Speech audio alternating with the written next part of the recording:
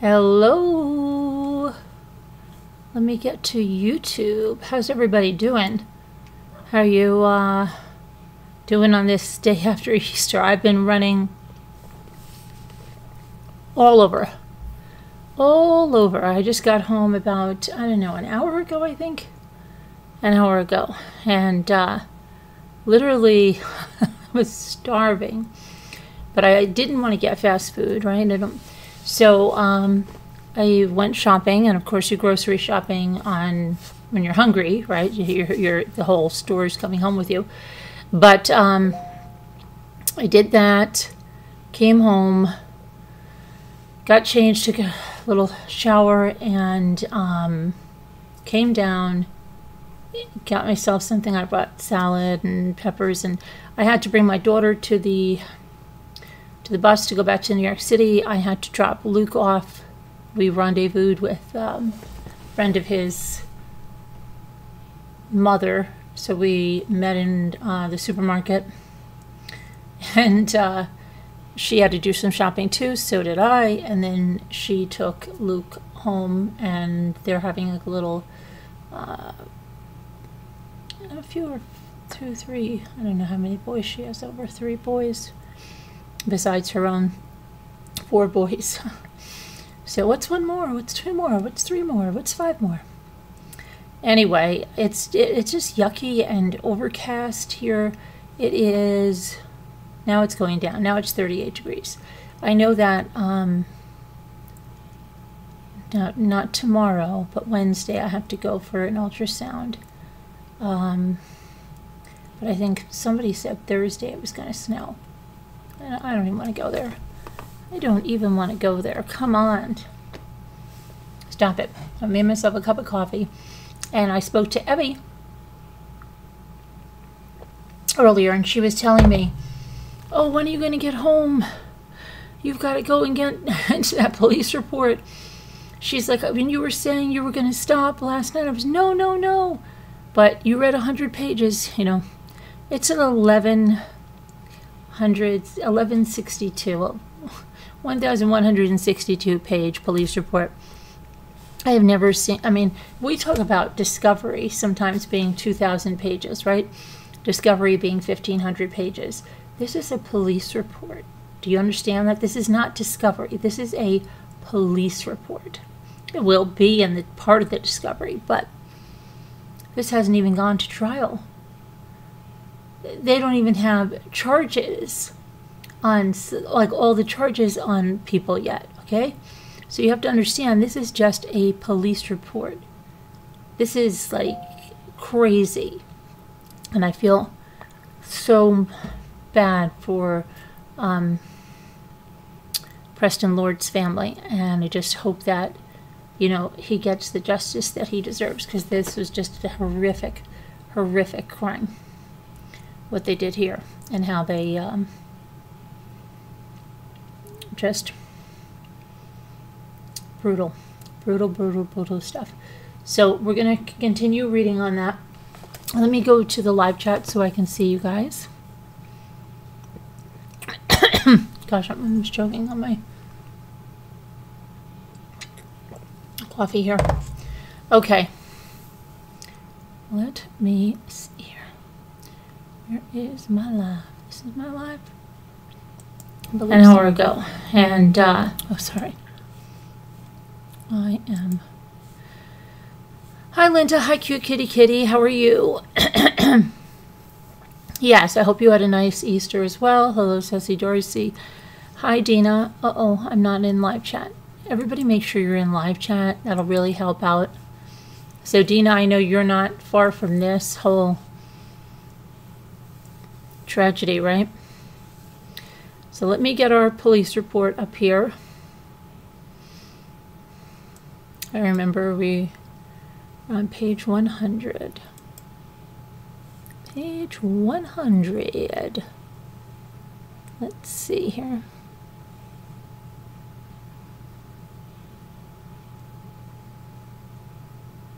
Is that my police report? Yes.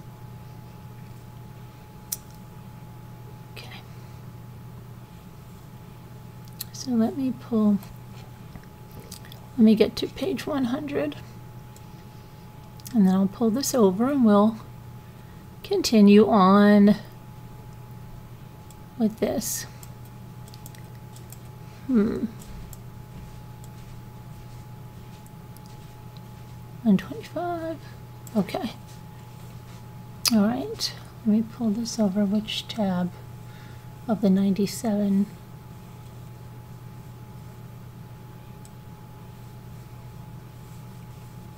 There we go. Okay, let me make this nice and large for you guys. Uh-oh, a little too large, right?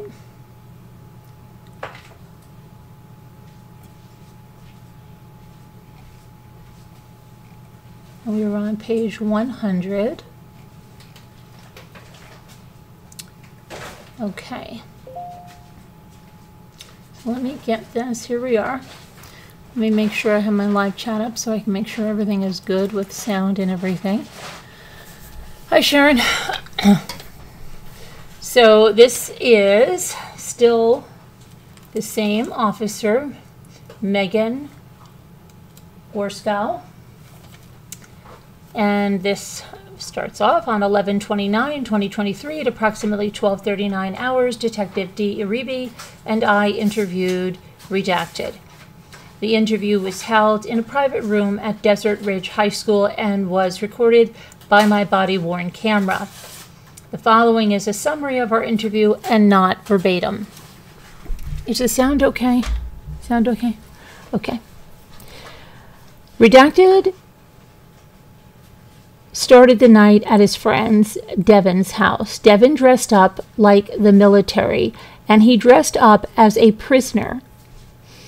They got an Uber to the party house. They arrived at the house around 2100 to 2130 hours.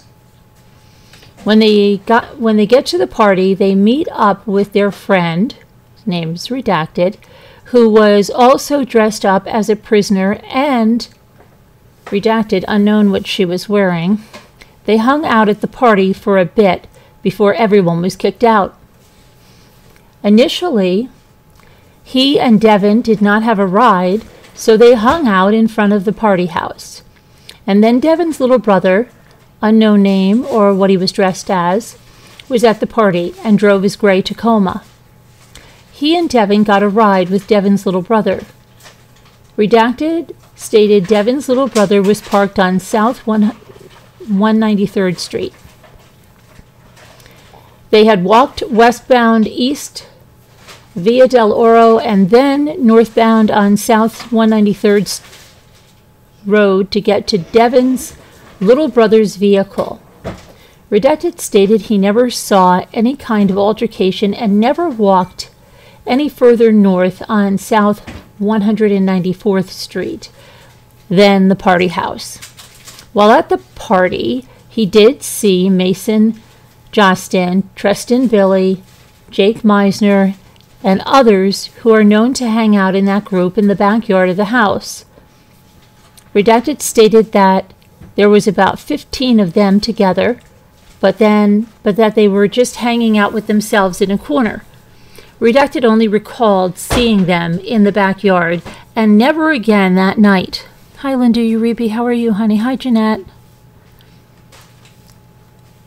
Everyone, we talked about the boy missing in France. Remember the toddler? They found him. Oh, no. Really? That's very sad, Jeanette. Prayers for the family. How sad.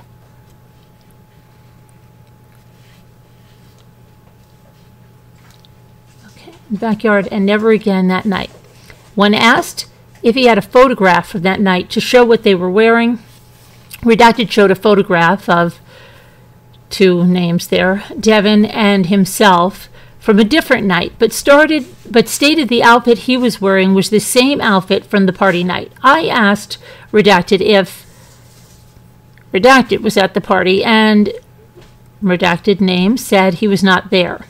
Name of the column witness. The photograph was uploaded to Axon, Axon Evidence. When asked if he saw or had any videos from that night, the witness stated that he was in group chat called Social Studies, and Taylor Sherman sent a video of redacted person getting dragged, a video already obtained by police. He stated that Taylor sent him the video in the moment as it was happening. The witness stated he did not know if there was further talk or videos because he didn't check the Snapchat messages, and then the next day everything was deleted and people were leaving the group. When asked what he heard about the assault, the witness stated that he had messaged Jake Meisner on Snapchat asking him what had happened, and Jake Meisner told him that Talan Renner was the one who punched him, meaning redacted the witness stated the messages were no longer available as they delete automatically. The witness then mentioned that about two weeks ago, he was at a small get together and Mason Jostin was there, and so was a redacted person. Mason Jostin confronted the redacted person for snitching on him. And then Mason told redacted person that he had killed someone and that he, redacted, did not want to be the next one. The witness then provided the following information. Devin goes to Hamilton High School and Snapchat username, what's there, it's redacted, goes to Hamilton High and Snapchat username, goes to Perry High School and the next person goes to ICANN school and has a Snapchat username of redacted there.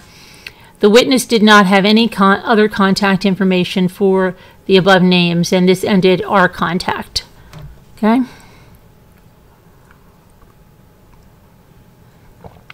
Okay.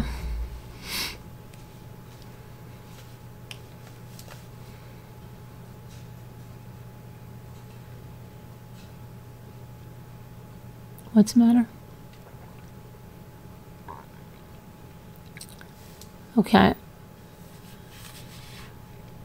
So next up.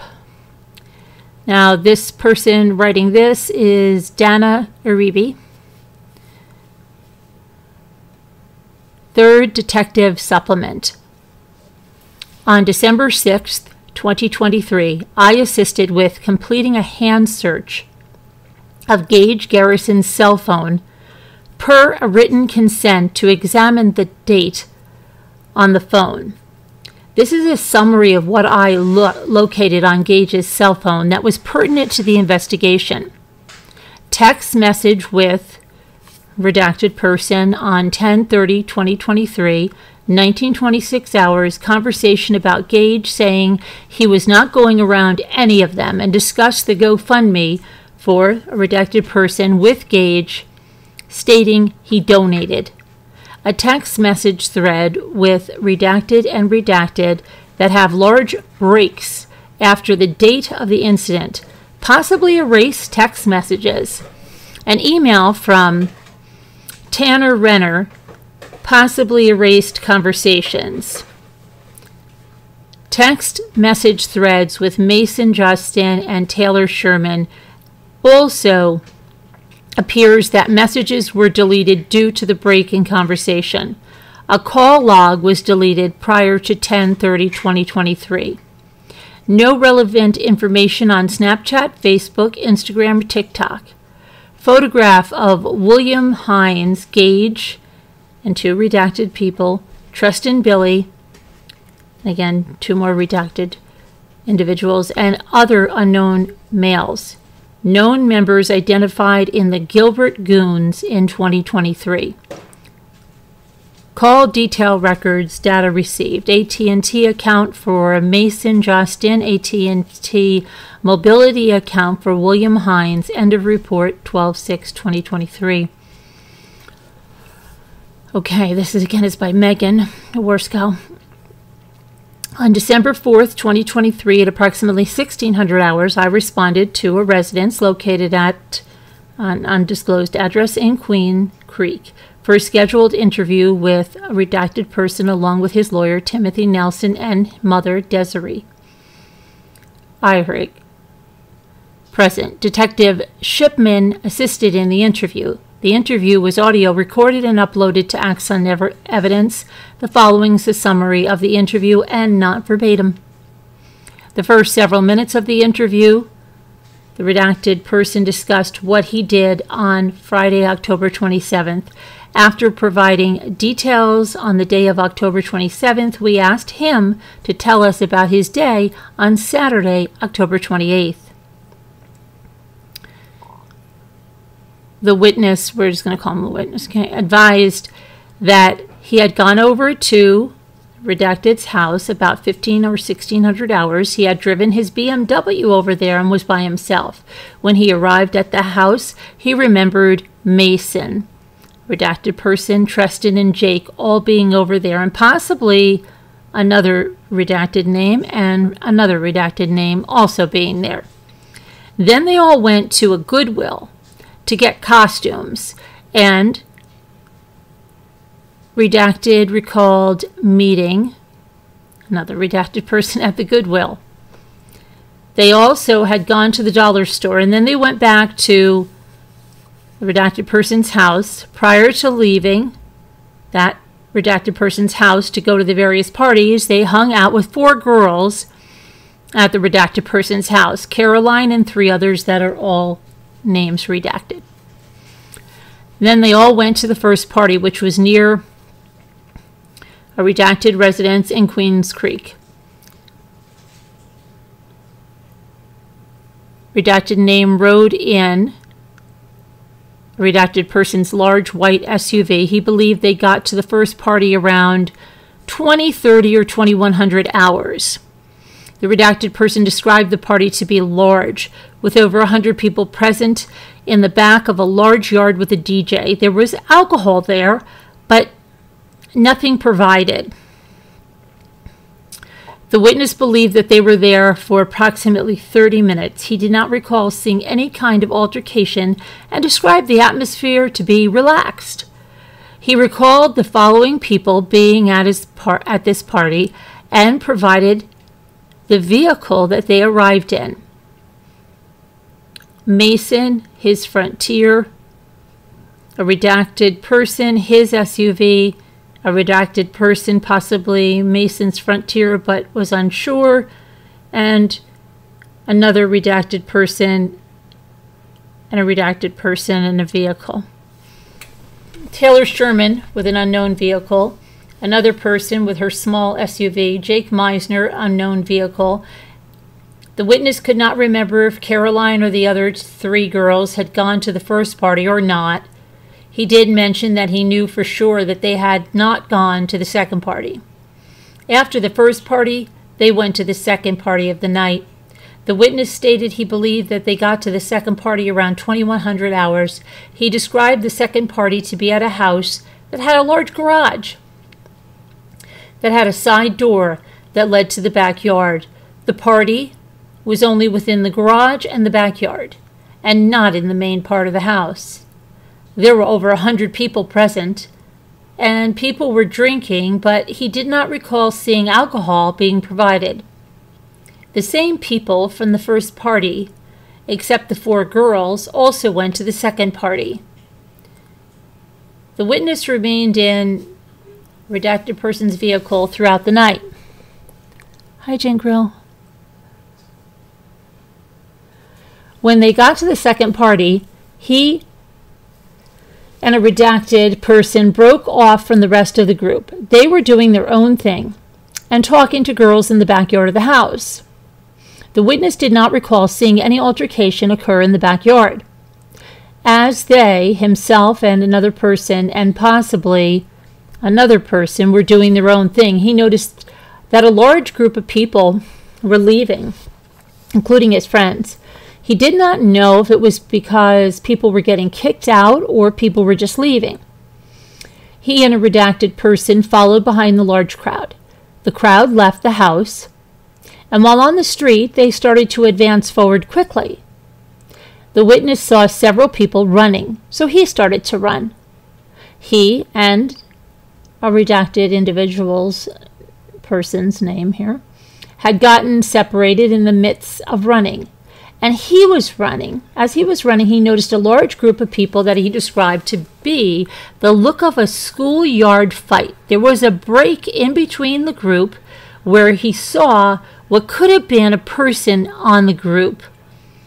The witness described the area to be dark with little lighting, and he could not recall seeing anyone specific near the person on the ground.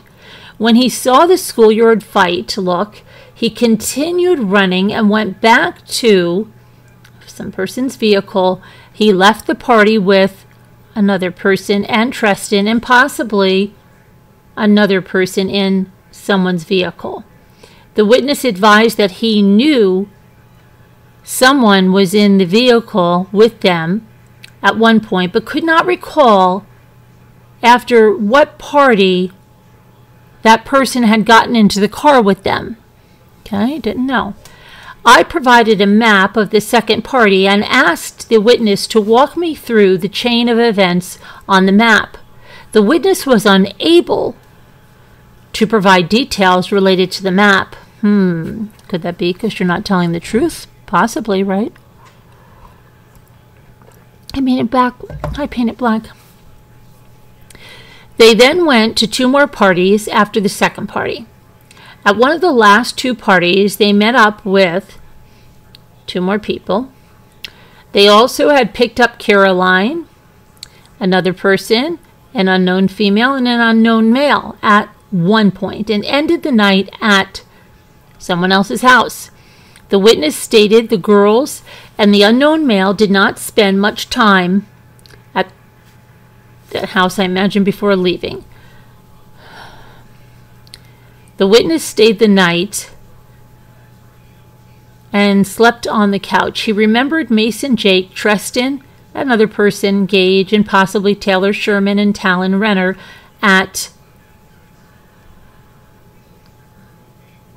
um, imagine that says the house at the end of the night.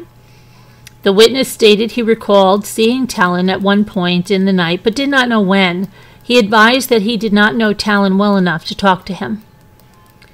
When asked what was discussed about the incidents, the witness stated he had heard that there were several altercations that night, but that a redacted person's name did not think anything about it because it's not uncommon for fights to happen at parties. The witness could not remember what was specifically said about the fights and who said what. The witness provided the following descriptions for the following individuals himself, a black suit with a red tie from Spirit and a snapback hat. Mason wore a black suit from the Halloween Spirit store. Redacted name wore a white suit with a black undershirt. Another redacted name wore a black suit with a pocket square, possibly a pocket square gray in color.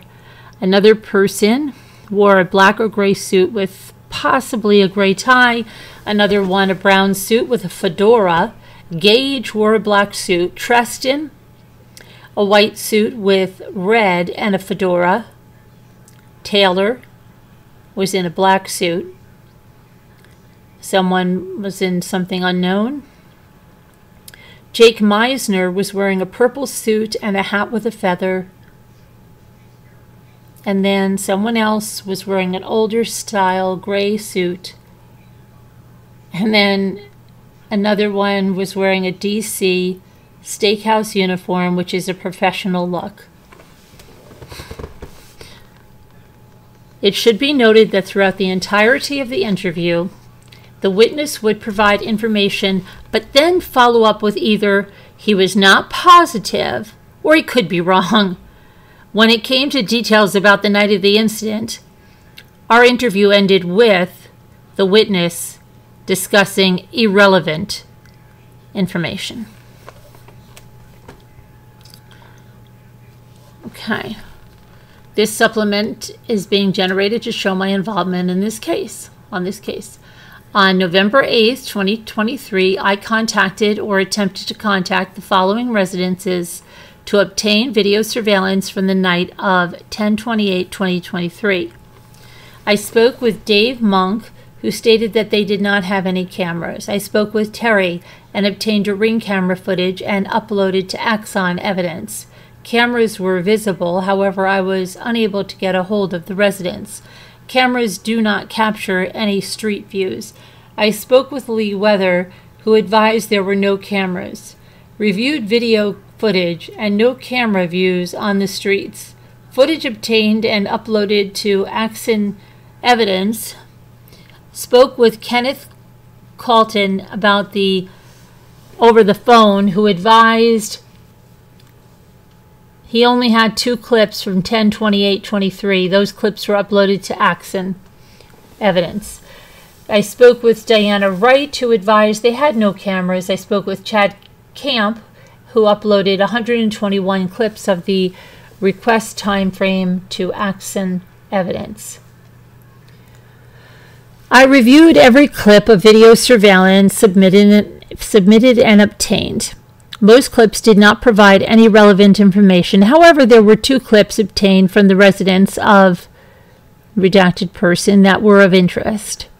The first clip is from the time frame 22 to 23 to 22 6 28 hours. The clip is labeled VEH Meetup, redacted surveillance in Axon evidence the following is what I observed in the clip. In the beginning of the clip, several vehicles were seen driving on the street of East Via del Palo. At approximately 22.0403 hours, a smaller black SUV is seen driving eastbound on East Via del Palo. And then Hey, Judy, thank you for becoming a Deputy Rambler. We appreciate that very much. And then southbound on South 195th Street before stopping in the middle of the street. Another sports style two door, possibly silver in color passenger vehicle is seen following the black SUV and parked next to the SUV in the middle of the street. The vehicles remain there from approximately 220412 into 220543. And they both turn around and drive back westbound on East Via del Palo. The second clip is from the time frame 213847 to 212901 hours. The clip is labeled running and it's redacted surveillance in axon evidence the following is what I observed in the clip. In this clip, I observed a male figure wearing a reflective vest. He was walking eastbound on East Via del Palo. He looks behind him and then starts to run before leaving the camera. Camera view. These clips have been shared with lead detective Jay Iribe. On 11 2 2023, I reviewed the following tips that were sent to the email address of, and then gives an email address. All tips have been saved as PDF files and uploaded to Axon Evidence. Below is a description of the tip. If it is new information that detectives have not been made aware of, all tips have been assigned a tip number. They coincide with the Excel sheet with all the tip information I responded back to all the tips received mentioned below on 12 19 2023, thanking them for the information and advising them if they had any additional information to contact QCPD. Hear that? Contact QCPD. All right. Tip 53 received on 1030 from redacted person new info instagram account had a short clip of a boy punching two other boys. Instagram handle is and of course it's redacted. 11 2 2023 check the insta account and it's no longer available. Tip 54 received on 1030 2023 new info be aware of a child with the name of redacted. Photograph attached appears to be secondhand information. Tip 55, received on October 30th. 2023 from information already obtained by the police. Tip 57 was received the same day from irrelevant videos. Another tip, same day, 10:30 2023 from information for different party. Then another one, um, information already obtained by police. And tip 60 is the same thing. Tip 3 received 1031 2023 from redacted new information that attends EVIT, I think it's EVIT, in the AM for aviation at the Power Road campus. He has been allegedly been shown students a video been showing students a video of the incident he received from friends that was involved that were involved. The video shows this kid getting punched to the ground and then stomped on by others. Refer to detective blount's follow-up tip 61 received on 1031-2023 from information already obtained by the pd same thing for 62. Tip 4 received on 1031 from a redacted person. It says, um, New information supposedly has video footage. I believe he may be a student at Casteel High School. Refer to Detective Blount's follow up. Tip 63 received on 1031 23 from um, when redacted person information already obtained by PD. Tip 64 received on 1031 2023 from a redacted person irrelevant information. Okay. On 11 4 2023, I followed, I reviewed the following tips that were sent to an email address. All tips have been saved as PDF files and will and will be attached to the report. Below is a description of a tip. If it is new information the detectives have not been made aware, all tips have been assigned to a tip number that coincides with the Excel sheet with all of the. What are you scared me? What are you doing? What's that? Why do you have to go to the hospital? That's fine. What What do you mean? No. Oh my gosh. Sorry, guys. He's messing with me. Oh, is that April Fool's? Okay. Um. Sorry. All right. Now, give me a heart attack. I reviewed the following and tips that were sent to the email address. All tips have been saved as PDF files, will be attached to this report. Below is a description of the tip. If it's new information that detectives have not been made aware of, all tips have been assigned to a tip number that coincides with the Excel sheet with all the tip information. I responded back to all the tips received mentioned below on 12 19 2023, thanking them for their information and advising them if they had any additional information to contact QCPD. 1. Tip 5 received on 10 30 2023 from a redacted person. New info, possibly witness. Senior at Perry High School is the witness. Won't cooperate with parents. Parents recommend taking her phone as there might be videos. Then a person was successfully contacted and interviewed. Tip 65 received on 1030, 1030 2023 from a redacted person. And it's already obtained information. Tip 66 received on 1030 from irrelevant. Tip 67 is also irrelevant, so is 68. And 69 was received on 1031 2023 from Instagram of Halloween party, unrelated people involved, unsure what Halloween party. Tip 6 received on 1031 from a redacted person, Jacob Pennington, possibly involved because he likes to fight people. He drives a white Toyota Camry Sport No other suggestion that Pennington is involved. Refer to Detective Blount's follow up. Tip 70 received on 1031 2023 from information already obtained.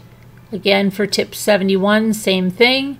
Tip 7 received 1031 2023 from Allah Party information referred to Detective Blount's follow up.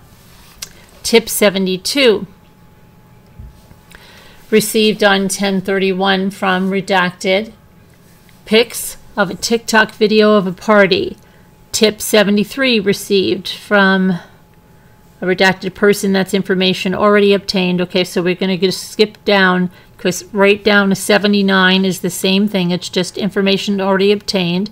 And then 80, 9, 81, 82 is information pertaining to Allah Party.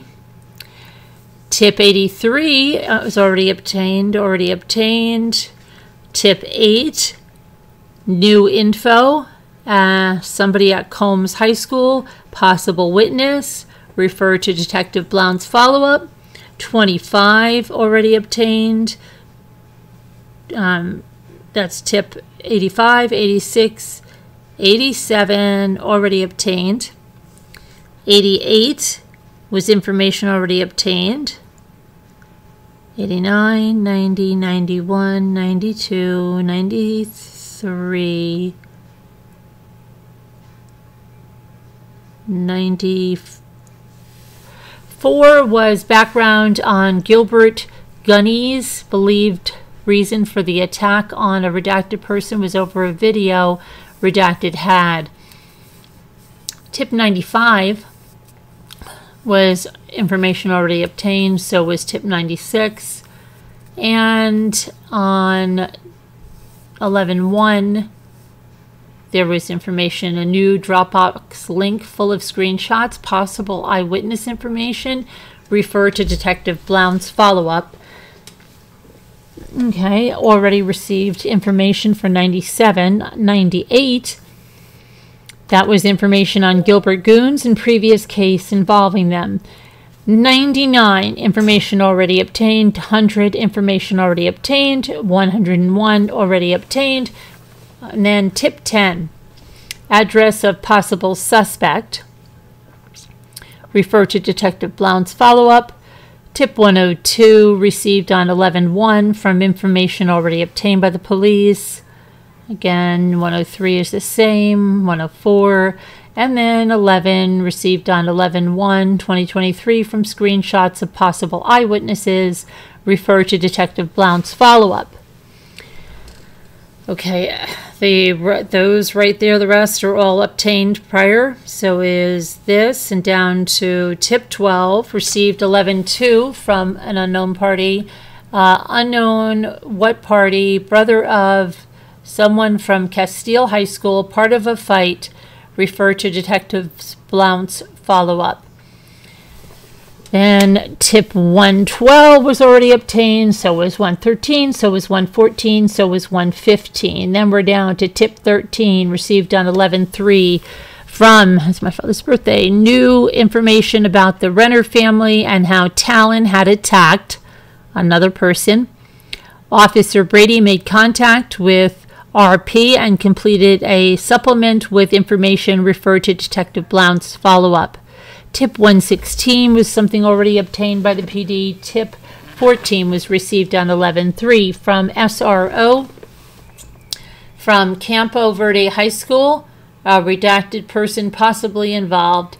Several um, Queens Creek PD detectives have been in touch with SRP Pillar. This concluded in any involvement in addressing any tips.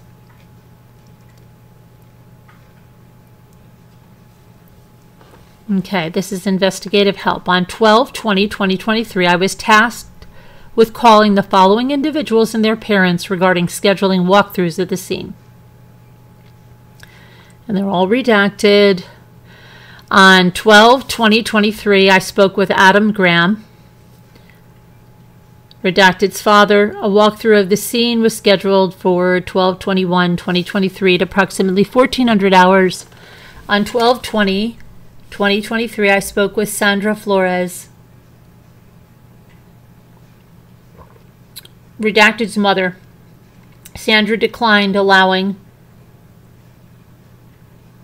I'm sure that's their child, to participate in a walkthrough and stated that she had already done her part with the investigation. On 12 20 2023, I spoke with Carly Cartmel. Redacted's mother. A walkthrough was scheduled for 12 26 2023 at approximately 1600 hours. Walkthroughs. Let's see what happens here. On 1221, the following scene walkthroughs were completed by Detective D. Iribe and I. All the scene walkthroughs were recorded on my body worn camera and uploaded to Axon Evidence. The following are summaries of what was said during the walkthroughs. They are not verbatim. The first walkthrough was with a redacted name of a witness. Please refer to Detective D. Iribe's supplement for details. The second walkthrough was with Redacted. Redacted was accompanied by his parents. The walkthrough stated, uh, excuse me, started on the corner of East Via del Oro and South 194th Street, pointed at the address of Redacted in Queens Creek at the, as the house where the party was being held. He had gotten a ride with someone along the along with other people. They had all rode in the truck to the party. They had parked the truck on East Via del Rancho in front of the residence of that person. Once they had parked the truck, they all walked up to the garage area of the party house. They did not know anyone there and were hanging around the garage area. They then went into the backyard of the house where they had seen a friend from elementary. They were talking with this person when an unknown black male with dreads wearing a beanie had approached. Someone and started yelling at someone. The unknown black male wanted to fight that person.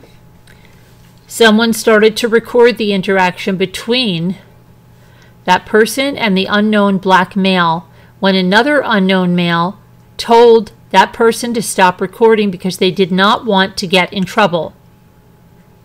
The person described the second unknown male as a short, heavy set Hispanic male wearing a costume.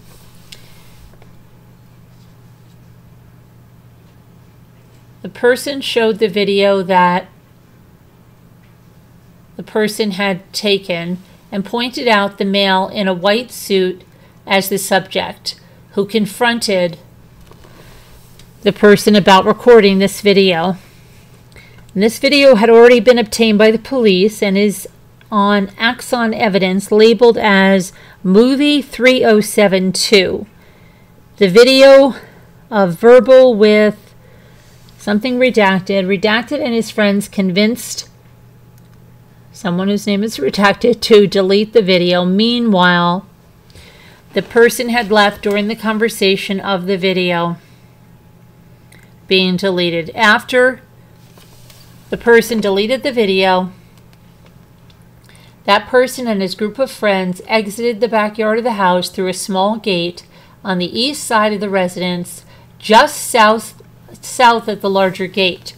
The person started there stated, excuse me, stated there was no physical altercation at this point. As they left the residence, they started to walk northbound on South 194th Street back towards someone's truck. Someone and his friends had noticed that a large group of people the same people who confronted the person about the video were following them. The person was in front of his friend group and the people following them. As the person approached the mailbox, that was uh, placed south 194th Street and was turning the corner to go eastbound on East Via del Rancho. Someone heard some commotion and someone say, He got hit! Someone looked behind him and saw a person holding his ear as if he had just got punched. The large number of people who were following them started to put their hands up in a fight like manner. At this point, someone started running and ran eastbound on East Via del Rancho. He ran with someone and someone else. As he was running, he recalled seeing someone near someone else and saw him hit the ground. The witness was unsure if he fell or he was pushed and could not recall if anyone else was around. They continued to run and ended up jumping the fence of the residence of Redacted and ended up on the east side of the residence. Redacted was with a redacted person and another redacted person while running, and the witness believed that they had run about a half a mile eastbound before stopping and hiding in a bush. And then they received a call from someone who was alone. They sent that person their pin location and they uh, redacted person had met back up with them. Two redacted people who were not at the party in a small white four passenger vehicle. Once they were picked up, they had made their way back to South. Redacted address. At this point, police were already on scene and the scene was taped off with caution tape. At some point prior to Redacted getting back to the scene, he received a call from a redacted person that was hysterical, begging someone to call the police, stating that someone had hurt his arm and someone else was asleep on the floor, not waking up, and people were performing CPR on him.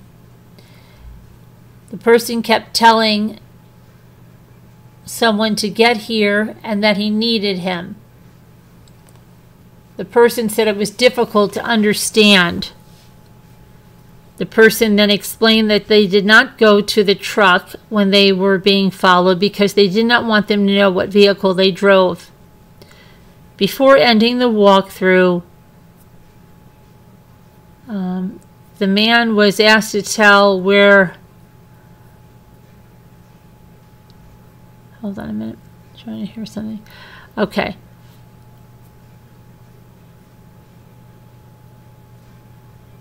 Before ending the walkthrough, I was asked to tell everyone it's prior to running. Please refer to my BWC video on Axon evidence labeled as walkthrough for a visual representation. The last redacted thing that had seen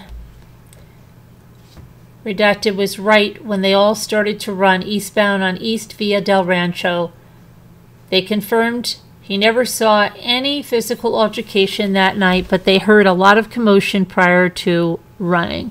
When asked if he had recognized anyone specifically that was a part of the group following him and his friends, he stated that he can only recall the Hispanic male in the white suit as being a part of the verbal altercation in the backyard with the person, and then he was a part of the group following them outside of the party the person described the Hispanic male as being the primary aggressor and the one that led the group. This concluded the walkthrough with that redacted person. Hi, Christine. Hi, Margot. Okay. The third walkthrough was with someone else who was accompanied by their parents. The walkthrough started on the corner of East Via del Oro and South 194th Street. The person stated he arrived at the party with his friends, all their names are redacted, and some others that he did not recall. The witness pointed out the address of, which is redacted in Queen Creek, as the house where the party was being held and stated that they had parked the person's truck over there while pointing northbound on South 194th Street. The witness stated that when they first arrived, they had just walked up to the house when the cops had come by and flashed their lights. Everyone started to run, but the cops did not did not do anything. So he and his friends went back to the party. They walked to the backyard and observed a huddle of people who uh, were two taller, jacked, black males appeared that they were about to fight. One of the black males was wearing an all black suit, and the witness could not recall what the other black male was wearing. The witness and his friends were behind the huddle of people just watching when a short Hispanic male wearing gray joggers started to record the black males arguing. The person did not know the subject recording the argument, but recalled walking into the party with him and stated that he was possibly a friend of a friend's. Another tiny Mexican dude wearing a white suit with a red tie approached the Hispanic male in joggers, deleted the video, and the other tiny Mexican dude continued to yell at him. At this point, the Hispanic male in joggers started to leave the party along with along with two others and his friends followed behind him and left the party. The Hispanic male in joggers, someone else, and the rest of someone's friends were walking out of the garage into the driveway towards South 194th Street when someone noticed a lot of people were following them. His friends got to the mailbox of the residence when he started to walk northbound on South 194th Street behind everyone else. As he was walking northbound, he heard someone say, We got one of them, and then saw someone running southbound across the yard of someone.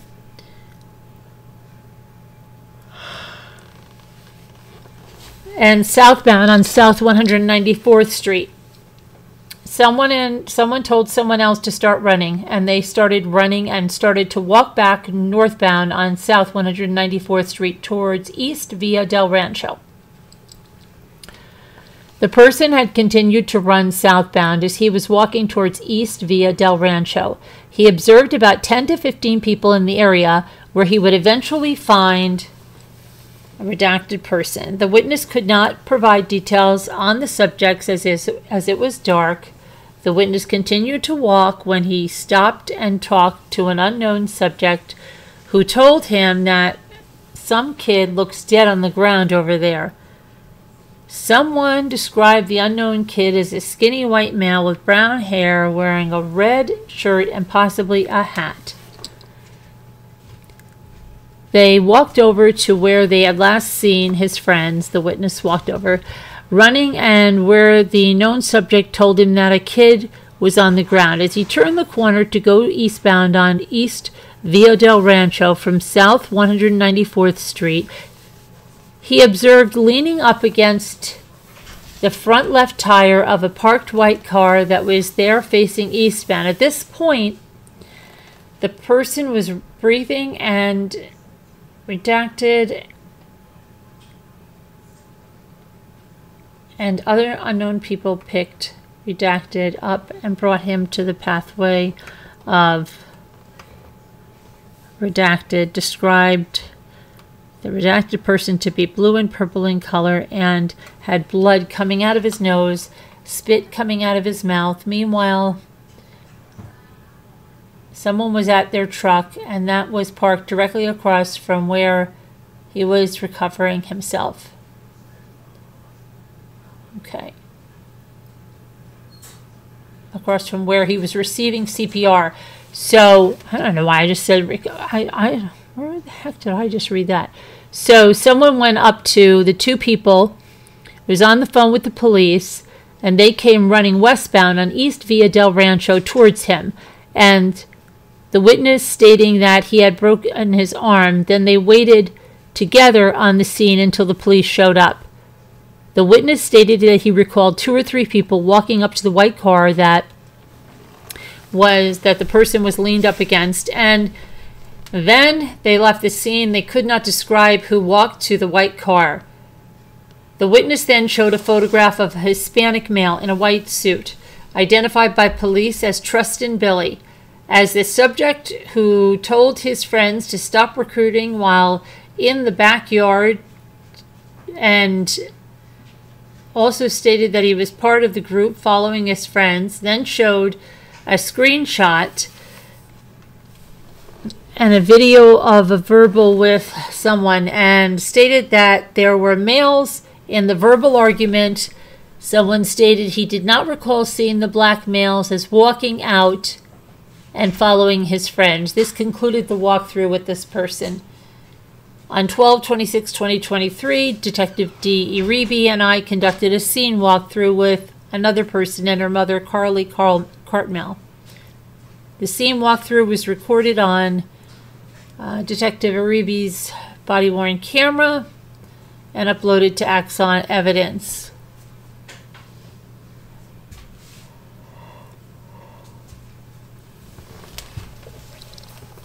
Okay, let's see here. Excellent. The following is a summary of what was said during the walkthrough and not verbatim. The walkthrough started on the corner of East Via del Oro on South 194th Street.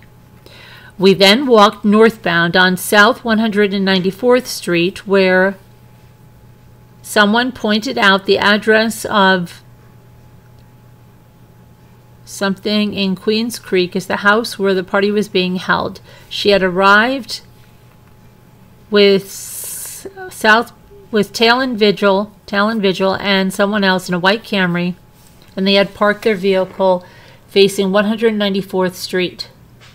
They got out of the vehicle and started walking northbound on South 194th Street towards the driveway of redacted person. When they got in front of the driveway, they waited there for someone and TK and Mason Jostin.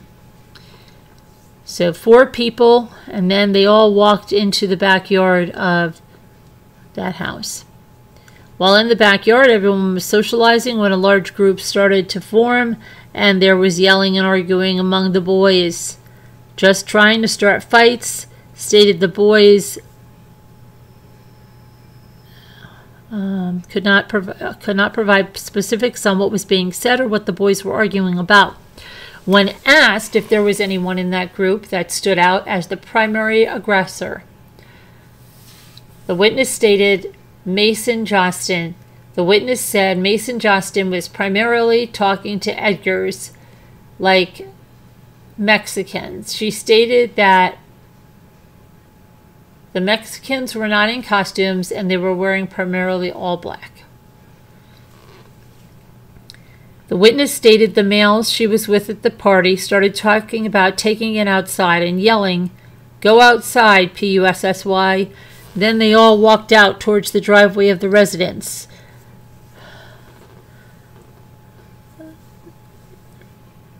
The witness said she and someone else followed behind the large group.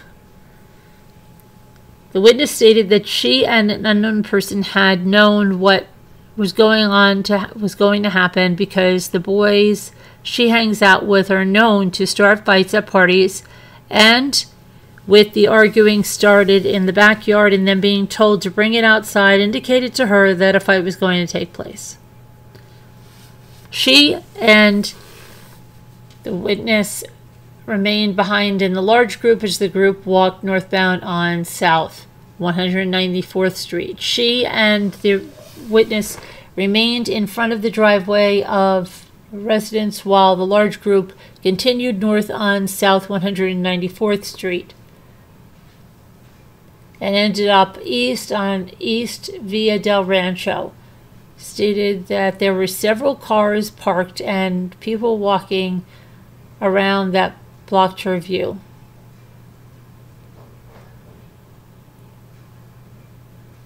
Okay, let's see. I'm just waiting on something here before I get another interruption.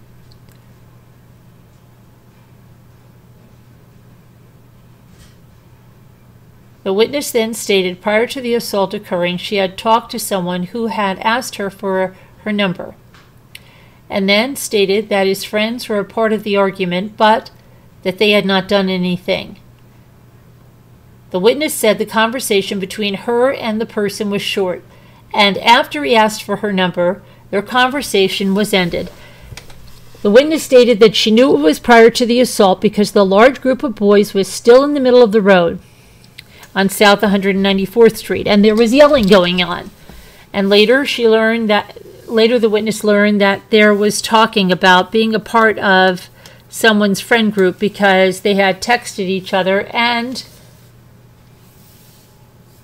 the person told her that his friends ended up in the hospital. After her conversation with that person, she and another person walked back towards the Camry. As they got close to the Camry, she saw Talan Vigil running towards the car from the corner of South 194th Street and East Via del Rancho. She had identified the subject running towards as Vigil because she had dis- recognized what Talan was wearing, and it was black jeans, Jordans, and Ryan Denny merch shirt and a hat. Talan Vigil was running alone. Once Talan Vigil had gotten to the Camry, they got in and Talan stated that I just knocked out a kid cold. We have to go. We have to leave. Talan turned the vehicle around, which was originally facing southbound on South 194th Street, and drove northbound on South 194th Street towards East Via del Rancho. They stopped in the middle of the road on South 194th Street just south of East Via del Rancho due to a large amount of people in the road. They could not take, uh, provide an explanation on why they went northbound on South 194th Street to leave instead of taking the easiest way out, which would have been westbound on East Via del Oro. When asked if anyone had gotten out of the vehicle while it was parked in the middle of the road, the witness had initially stated that no one had gotten out, but that then stated that Talan had gotten out and walked in front of the car but stayed in the roadway. The person, the witness could not provide details on what he was doing or who he was with and said he was outside of the car for about four to five minutes. When asked if she saw or heard another fight occurring. She denied any acknowledgement of another fight.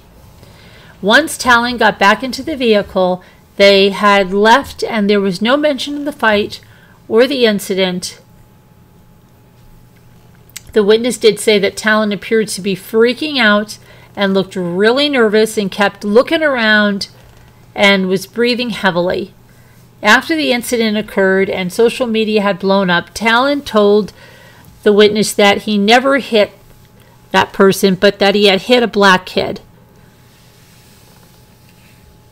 The witness then stated that she has only talked to a couple of the boys from that group, but that the incident had not been brought up.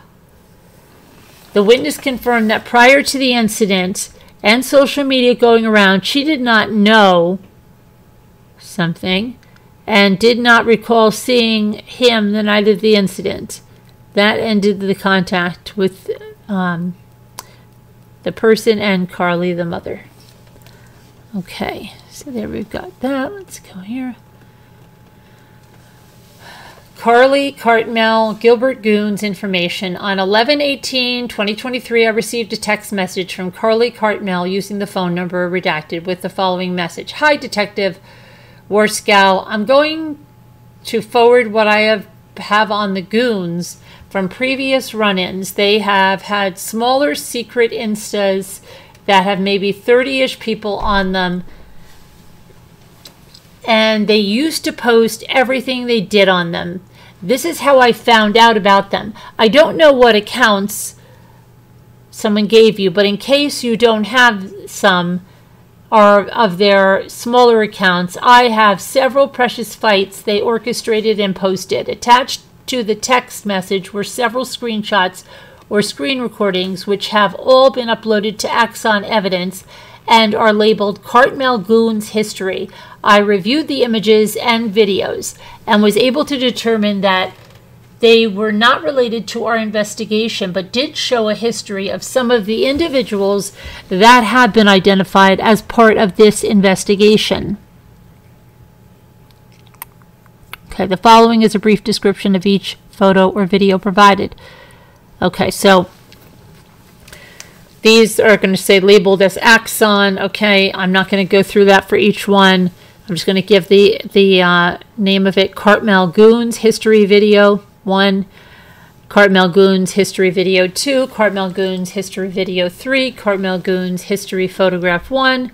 Same thing, photograph two, three, four, five, six, seven, eight. On 1228, I conducted a scene walkthrough with the witness and his mother, Maria Villa Villalba.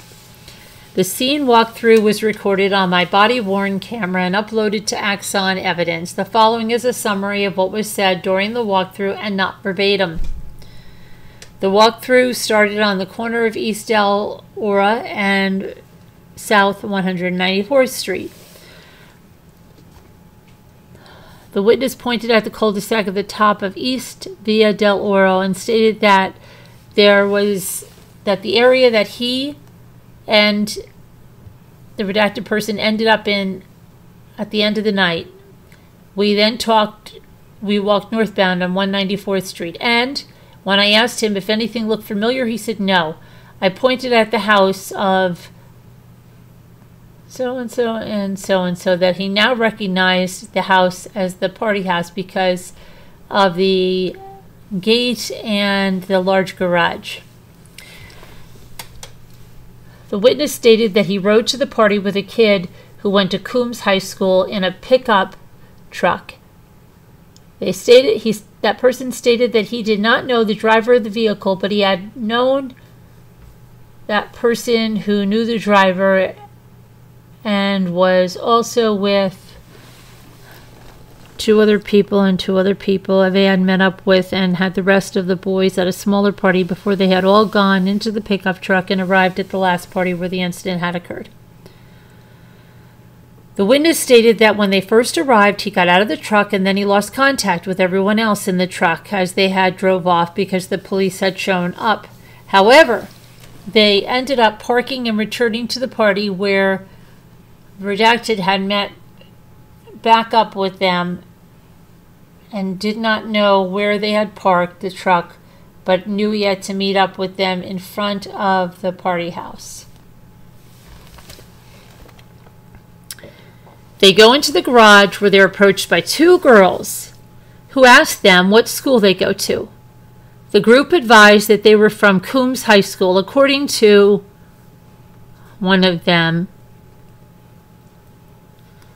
Um, people do not like Combs High School kids, so the witness was unsure if that played a role in the incident later on. After talking to the girls, they go into the backyard where he observes two black males arguing. Started to record the argument when an Asian male who was a not allowed him and just okay yeah uh, showed the Asian male his camera roll. Okay. They stated the Asian male still appeared to be upset, and the friends left the party. They could not recall if they had been kicked out of the party or if they had just left on their own. As the witness and his friends walked out of the house and went northbound on South 194th Street, they noticed that a large group of males were following them and the same Asian male from the backyard was a part of that group following them. The witness stated he believed the Asian male was leading the large group. The witness advised he was in the back of his friend group, but in front of the large group following them. As they're walking northbound on South 194th Street, and are in between the driveways of two more redacted people and a redacted person. The Asian male has snatched up and watch. Oh my gosh. And what you're going to do about it? Hold on a second. Hold on. Had snatched the person's chain off his neck. The Asian male then held the chain up and asked, What you going to do about it? Another white male with longish hair wearing a black suit, also asked, the person what he was going to do about it. The person whose chain it was told him that it was fake and then continued walking northbound on South 194th Street. As the person turned around to go northbound, he felt a boom to the right side of his head and demonstrated a punch to the side of the face.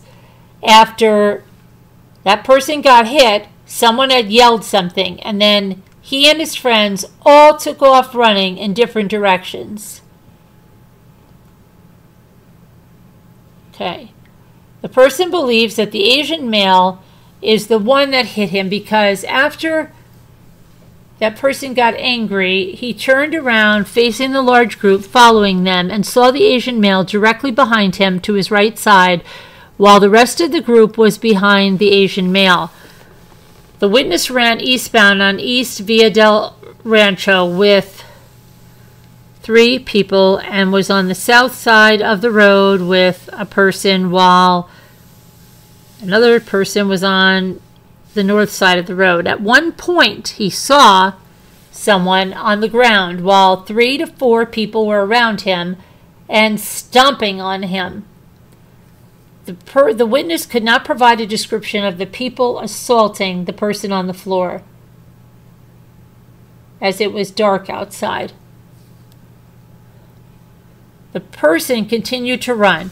He and someone else ran through an open field where they ended up hiding behind a half wall at the address of redacted. As they were sitting behind the half wall, they noticed people were driving around and circling the area, making them believe that males were looking for them.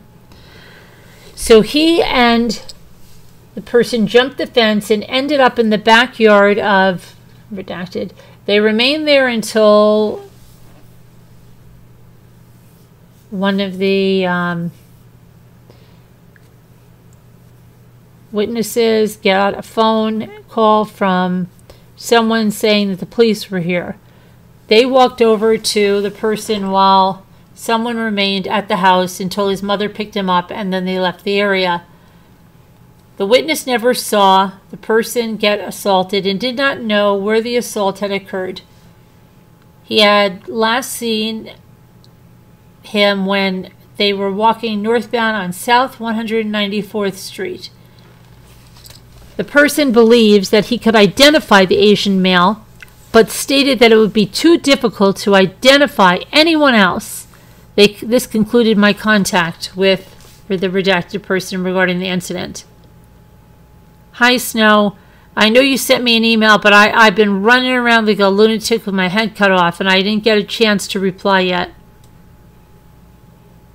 On 111 2024, I was asked to interview Dale Jorgensen regarding an assault that took place regarding the Gilbert Goons. I met with Dale Jorgensen and his mother, Rachel Jorgensen, at the Queen Creek Police Department. The interview was audio and video recorded and it was uploaded to Axon. The following is a summary of the summary of my interview with Dale and Rachel. It is not verbatim. The incident occurred 11-22-2022 at a house party located at oh my gosh. Um, the incident occurred on 11-22-2022 at a house party located at either someone or someone's in Queen Creek, Arizona. The party was hosted by, their names are redacted, a friend of Dale's. Dale stated the party was supposed to be a small invite only party. However, a kid at the Basha High School had posted about the party on his Snapchat story, and people started to show up. The people started to get out of hand, so Dale started to tell people they need to leave. You need to leave. Get out of here. You got too many people. Dale and his friend were in the front yard of the residence when Dale was telling people to leave. Dale remembered focusing his attention on three males asking them to leave. Dale stated one male had ear length hair, black, and black hair, and was wearing blue jeans, a jacket, and a white undershirt. The second male had long black curly hair, and the third male had shaggy blonde hair and a middle part. The three males were part of a larger group, totaling about eight, ma- eight males altogether. Dale stated they all looked very similar, all being white males with longer hair than longer than their ears. When Dale had told the three males to leave, they started asking him, "What are you going to do about it?" And they kept asking Dale if he knew this kid. Dale told them he did not know this kid and told them to leave again. They concluded they continued to yell at Dale saying that he got saying that continued saying that he did know something and Dale told them to shut the F up and just leave. And that's when he got physically attacked by a large group of males. Dale stated the male subject who was assaulting him was was SP1. SP1 had brass knuckles and just started swinging on Dale. All the other males were also throwing punches and kicking Dale, but Dale specifically remembers SP1 because of the brass knuckles. SP1 had hit him with the brass knuckles on the right hand and on the top of the head. Dale was able to break free from the fight and ran to the backyard of the house, and the large group of males left the party.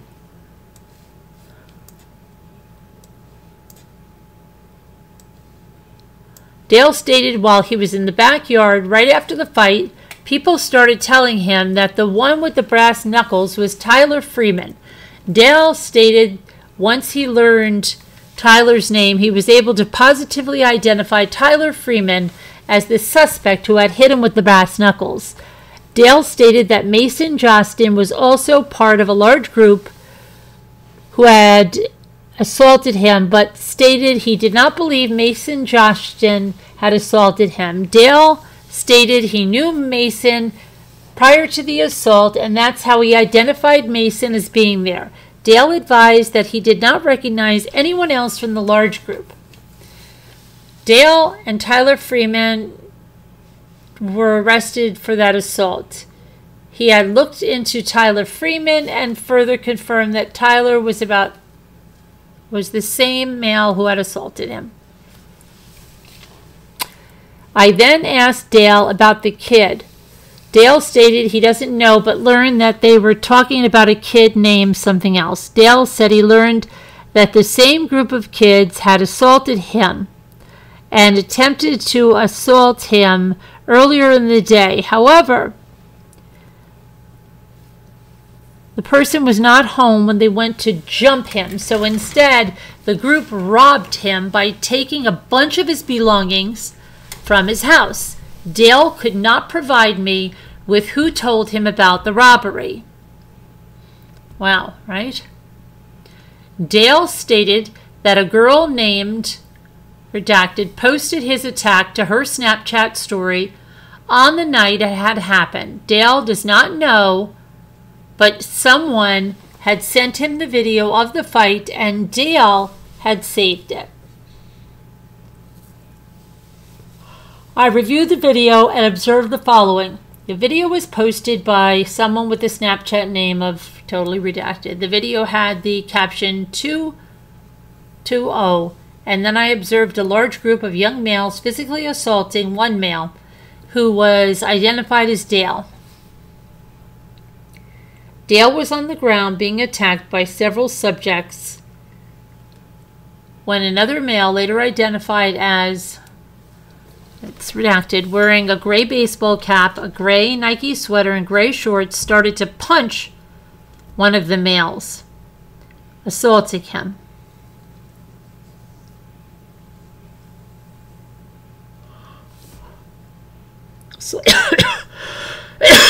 Excuse me, assaulting Dale. The group started to back off of Dale besides one male. Dale remained on the ground when the male with ear length black hair, a gray jacket, white shirt, gray pants, and black shoes punched Dale in the head with his right hand. The male is seen holding a shiny object in his right hand as he punched Dale in the head. Wow. horrible as he punched Dale in the head. Well, okay. Dale got off the ground and he was getting up. The same subject kicked Dale in the face with his right foot. Wow. The subject was still holding a shiny object in his right hand, pair of brass knuckles, mind you. Dale got up and lunged forward at another male who had big shoulders, length hair, and was wearing um, oh gosh, I know that I know the one you're talking about. That that that one is um, oh my gosh. Okay. So black hoodie, black red checked pants, and white shoes. The crowd of boys all started to attack Dale again and then go into the video ends. And then the video ends. Dale explained that the caption 2 to 0 was referring to redacted robbery and then his assault. Lucas Brutsch was a friend of Dale's who was trying to help him. You can witness the fight, but Dale is unsure where he was. Hold on a minute. Uh, everything was happening. Dale provided Lucas's number, Lucas' number, and Jordan's number. Dale sh also showed photographs of the injury to his head, which appeared to be an inch long laceration to the side photographs of those injuries. Both the video and photograph of his head have been uploaded to Axon information. When asked if Dale had received any packages for his injuries. They all started that he, he must, he must, hold on a minute. What happened here? What happened? Jordan's number. That he did not have any photographs of those injuries, but the video and the photograph of his head had been uploaded to Axon Evidence. When asked if Dale had received any medical attention for his injuries, they stated that he did not and just used liquid bandage. I then asked Dale if at the time of his incident, was the Gilbert Goons a known group? Dale stated that it was not, but that people were becoming aware of a group of kids harassing just Arizona. He advised that Gilbert Goons did not become known until months after his incident. When asked if they had reported the incident when it occurred, both Dale and Rachel advised that they did not report it to law enforcement. They had learned that the kids involved were Perry High School students, so Rachel reached out to the school to inform them of the incident, but she had not reopened it any further. They did not report to law enforcement until the case came about. At about that point, they had called the FBI, who had called uh, Heather um, Heather, what the hell? Gilbert. I, oh my gosh, I, I'm falling asleep a little bit here, so I don't know what is going on here. Let me go back here. They did not report it to law enforcement until the blank case came about. At that point, they had called the FBI, who told them to report it to the Gilbert police. They reported the incident to the Gilbert police about a week ago. From this interview, they were given an incident number of G blah blah blah blah blah. And then they wanted to report it to Queen Creek Police for information purposes. I have to let me just grab some coffee here because I what's happening is I'm falling asleep and I don't know what the hell is happening. It, it's like I'm not that tired, but then I start reading and imagine when you're reading and you're tired, then I'm like here I'm I'm just like well it, it's getting to be like uh, remember the uh, Seaver case? Or that case where what did we just do like a couple weeks ago? And I said uh, something that is totally not in there something about dogs or something being it was just something crazy. What the heck? Let me try to wake up for a minute. I've just got to stop reading for one minute so I can try to wake up so I'm not falling asleep. I'm literally like falling asleep. And I want to read this, I really do. But I have coffee here and I should drink some more of it. This has ruined a lot of families. Yes, it has. Snow remover. Whew. I just have to wake up a minute.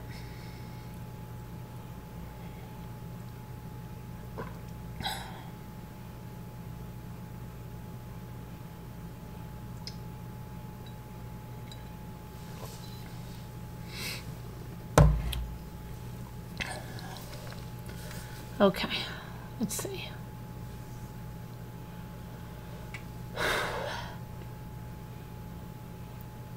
On 118 2024, I responded to the address located at blank Arizona to conduct a follow up on a tip advised that the redacted brother had either seen or had a video of the assault involving redacted. The interviews were recorded on my body worn camera and uploaded to Axon Evidence. Detective Klingensmith also attended the interviews along with both Redacted's brother's parents, Tara and Stephen Sprague.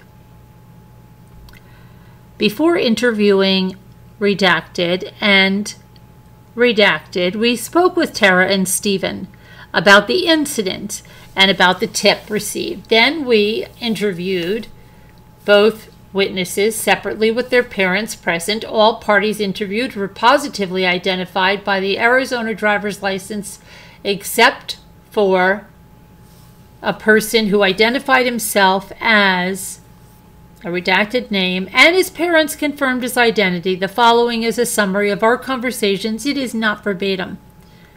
Both Tara and Stephen expressed to us that since this incident with Redacted had occurred, they've had multiple discussions with their boys regarding the seriousness of the incident and asked if they had any knowledge of this event, which both boys advised they did not. They confirmed that the boys were not at the redacted party and were at a smaller invite only party. They also advised that they do routine checks on their boys' phones even before this incident and they didn't come across anything regarding the incident. They also confirmed going through a hidden or password protective apps or files to include the My Eyes Only folder in Snapchat. We asked them if either of the boys would have to say either boys were known to say, I, hold on a minute, let me see this. We asked them if either of their boys were known to say something to gain attention and explain that they could have possibly stated that they had seen something they hadn't for attention, and both parents advised that they don't believe either of their boys would try to gain attention in that manner. They also confirmed going through hidden or password protected apps or files to include the My Eyes Only folder in Snapchat. Okay.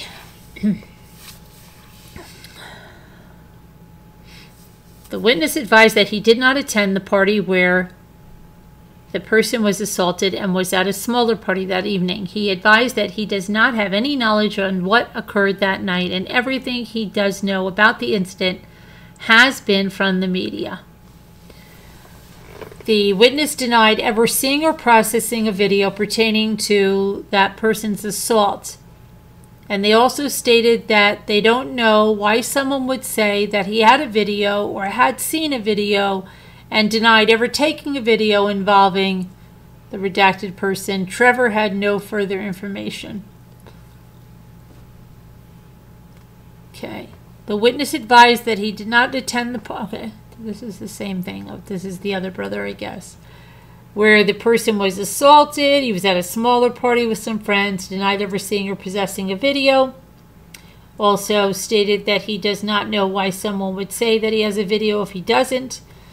And he further advised that he has not talked about the incident with his friends or anyone at school. When asked about something, he stated that he was not at either party, the redacted party or the one that he attended that evening. He does he also does not believe that he has any knowledge of a video.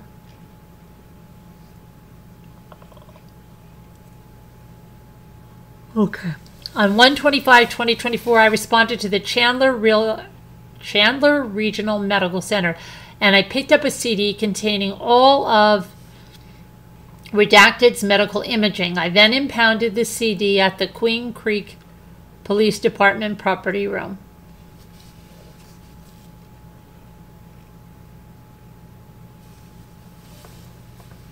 Instagram preservations.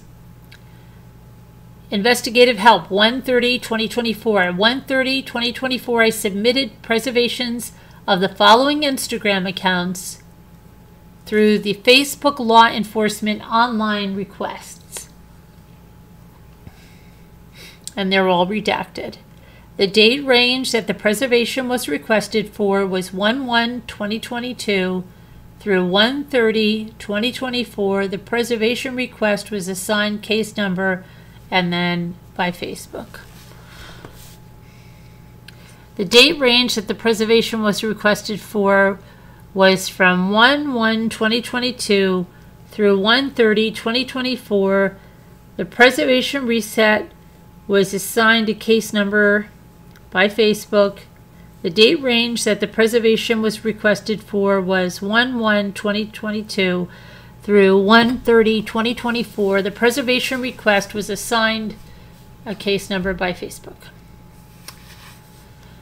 Okay, on 12 20 2023, I attempted to contact Sandra Flores, a redacted witness's mother, by phone and text message. Sandra only replied to my text. The following is a conversation by text between myself and Sandra. Screenshots of the text message are uploaded to the Axon evidence. Good afternoon. This is Detective Worsko with QCPD. I spoke to your daughter a couple of weeks ago about the homicide investigation we're working. I'm calling to see if you and your daughter would be willing to have your daughter walk detectives through the actual scene of the incident and have her describe everything as we go through the scene.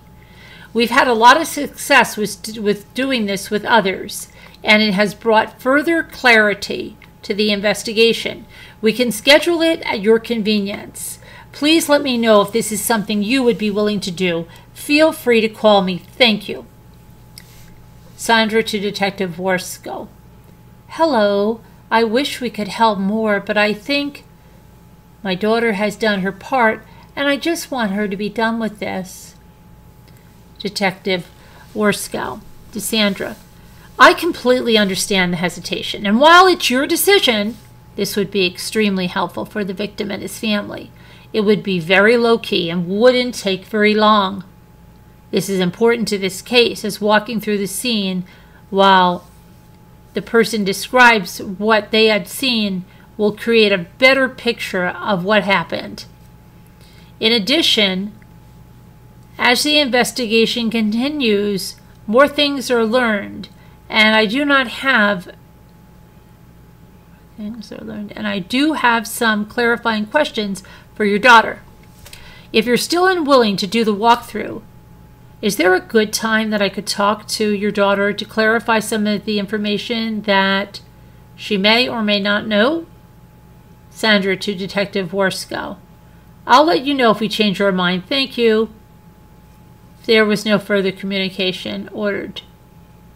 Okay, on February 1st, 2021, uh, 2021, oh my gosh, 2024, I submitted preservations on the following Instagrams about Facebook law enforcement online requests. The date range that the preservation was requested for was from 1 1 2022 through 1 2 1 2024. The preservation request was assigned a case number by Facebook. Okay, now let's see. How many pages have we read? 100 and how many? Only 132? How does I've only read 132? We've been on since roughly 11, 12, 15. Wow, how did we only read 32 pages? What's going on? I have to drink some more coffee. On 130, 2024, Detective D. Iribe and I conducted a scene walkthrough with a witness and his mother, Lori Meinhardt. The scene walkthrough was recorded on Detective D. Iribe's body worn camera and uploaded to Axon Evidence. The following is a summary of what was said during the walkthrough, but it's not verbatim. Hold on a minute. Get myself situated a little more comfortable or not so comfortable, I should say. The walkthrough started on the corner of East Via del Oro and South 194th Street. The witness stated that he had drove with, okay, and that wasn't, uh, that was not, that was a male and his mother. So let's just correct that. That he had drove with four other people they heard about the party through Snapchat. The witness could not recall who got the invitation and only could recall that someone in his vehicle said they had an address to the party. We then walked northbound on South 194th Street, where the witness pointed out the address in Queen Creek as the house where the party was being held and said they had parked near a dirt lot around the corner. When he pointed out the road east via Del Rancho and to the east 194th Street, the witness said they got to the party early, so they hung out at their vehicle for about 30 minutes, and then they went to the party and hung out for about 20 minutes. In that time, the witness did not notice any alcohol being provided but saw kids bring in their own.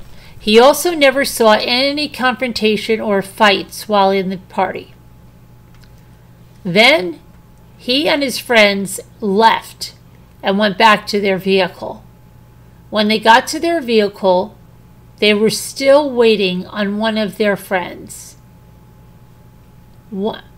The witness who had not left the party yet, so they went back to the party to get him. Oh, the friend had not left the party yet. They met that friend in the driveway of the party house. Then they all started to leave and head back to the vehicle. At this time, the witness did not recall seeing any confrontation or hearing any verbal argument. As the witness got to the corner of East Via del Rancho and South 194th Street, he started to hear a loud, excuse me, a large ground screaming and yelling. A large ground, I think they mean crowd. Screaming and yelling and start to form a circle in the middle of the street. At the time, the witness thought it was just kids having a good time, and there did not appear to be a verbal dispute. The witness looked behind him, southbound on South 194th Street, and when he looked back in front of him, he saw a kid fall to his knees. The witness said he remembered that the person had been shoved from behind, causing him to drop to his knees, and then his body was pushed down, causing his face to slam into the ground. As the person remained face down and people started to scatter, the witness witnessed someone stomp on the back of his head put their heel to his head approximately three or four times before running off. Wow. The witness stated the subject stomping on the person's head was a heavy set male that had darker skin, possibly Hispanic. The witness could not recall what the subject was wearing or any other descriptions of any involved, but started that but stated that everyone was wearing dark colors. The witness also stated as the the person was getting attacked, which we know is Preston Lord. He heard a loud shattering noise like glass breaking. So he wasn't sure if the Preston had gotten hit with a bottle or not. The witness and his friends walked over to Redacted and started to drag Redacted out of the roadway as there was a lot of foot and vehicle traffic. When the witness initially contacted the victim, he was still conscious. The witness noticed blood, vomit, and spit coming from Preston Lord. He also noticed scratch scratches to Preston Lord's face and knees that were like road burn. They were able to move him out of the street and moved him against a vehicle to let traffic go by, and then they moved him again onto the walkway and said that it was only people that he knew who dragged him out of the roadway and did not recall anyone else helping. While on the walkway, they attempted to wake Preston up, and one of his friends reached into his pocket to find his cell phone to call his parents. Preston had gasped for air a few times before going pale. Preston had stopped breathing. There were two girls that were with him then, and they had just met the girls that night. They were driving a white BMW that was parked near the walkway. The witness had a CPR mask, or the girl had a CPR mask, so she gave it to someone who started giving Preston mouth to mouth while someone else did compressions. The witness believes they were performing CPR in Preston for approximately five minutes before police arrived on the scene. The witness only recalled the white BMW and the black truck parked in the area. He also said there were passerbys, but no one besides his friends, the two girls, and the other person's friend, hung out in the area.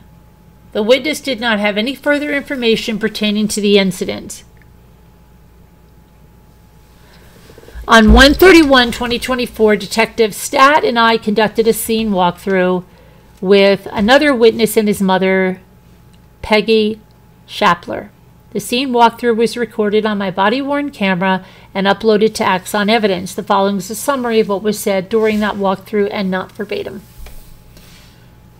The walkthrough started on the corner of East Via del Oro and South 194th Street. We walked northbound on South 194th Street, where the witness pointed out the address of a house in Queen Creek as the house where the party was being held. Being held. They had parked near the dirt lot in the cul-de-sac of East Via del Rancho, just east of South 194th Street. They waited at their vehicle for about until about 21:15 hours when people started to arrive. They went and stayed at the party for approximately 20 minutes and never observed any confrontation or issues. Then the cops came by with their lights on and parked just north of the house. People started to leave, including someone and his friends. They went back to the vehicle and noticed more people were going to the party, so they went back to the party for a second time. The second time they went to the party, they did not notice any confrontation or issues. They were at the party for approximately 10 minutes the second time before leaving again. They all started walking back to the truck. The witness said he was ahead of his own group by about 15 feet. He had gone eastbound on East Via del Rancho from South 194th Street and made it to the walkway when he heard a loud crowd at the corner of East Via del Rancho and South 194th Street. The loudness of the crowd and the screaming caused this person to look back towards 194th Street. As he looked back, there were a lot of people running towards him. So he got behind a pillar located at the walkway of Redacted. Redacted said Redacted was walking eastbound on East Via del Rancho when he was either shoved or hit, which caused him to fall. And then people started to kick him while he was laying face down into the ground. And then they ran off, and friends came and checked on the person. The witness did not recall anyone but his friends helped move Preston off the roadway. They had moved Preston onto the walkway of another street and observed cuts to his face, his knees, and noticed that he had urinated. At one point, they, he turned really pale, so they performed CPR while using a mouth tube for air. When asked if anyone remained around after getting kicked, he said he noticed a taller black male standing around and he was asking if Preston was okay. The witness did not know if he was a part of the assault or not. On the night of the incident, the witness did not know who Preston was and only later identified him after the media releases and had nothing further to add, and this ended my contact.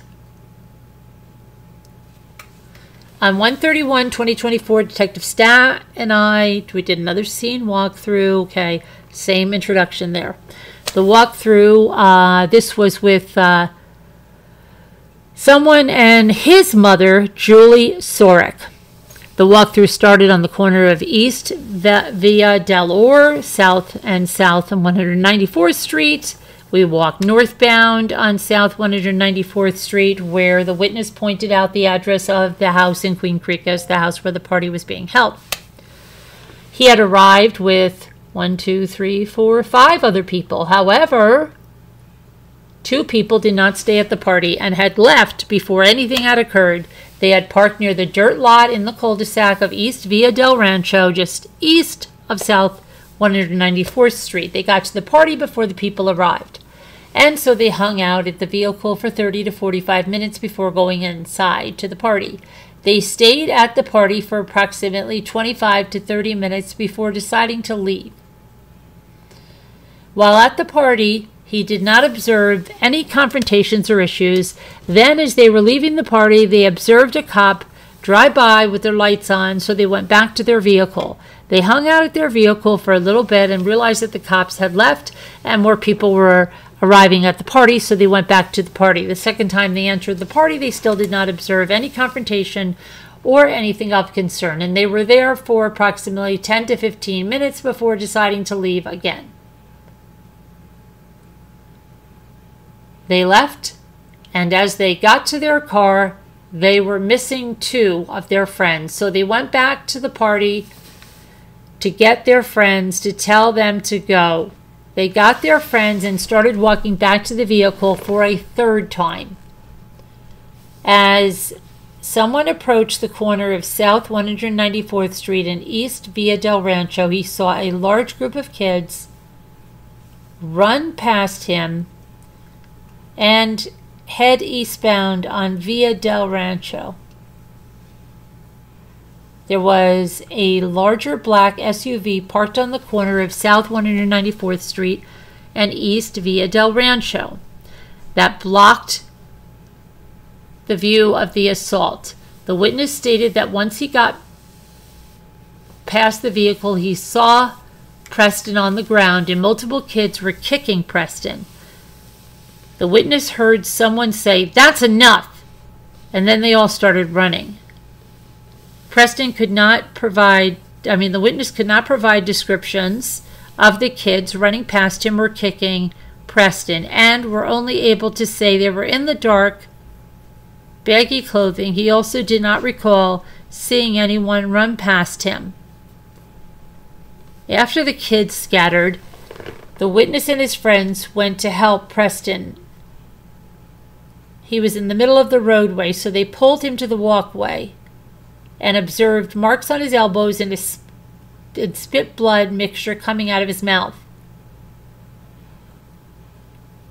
Preston was unresponsive, and the only sounds that were coming from him were deep gasps for air.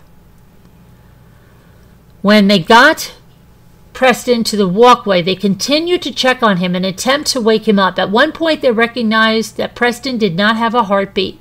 So the friends started to perform CPR. When asked if there were any other vehicles parked in the area, they said there was a small beige car parked on the south side of East Via del Rancho, just in front of the walkway. Um, that should be an issue that I can. Um, see, that's yeah. I'm already talking about the thing about the walkway, but something else. I, I was just losing it again and talking about something else. Um, they also stated that while the kids ran past him and were kicking Preston, they were laughing. On the night of the incident, also, let's see. The witness did not know who Redacted's friends had pulled his ID out of his pocket that night. Before ending my contact with a recent booking, recognize his face but cannot recall from where Gage Garrison was posted. Okay, said that in a recent booking photograph of Gage Garrison was posted, and the witness stated that he recognized his face but cannot recall from where.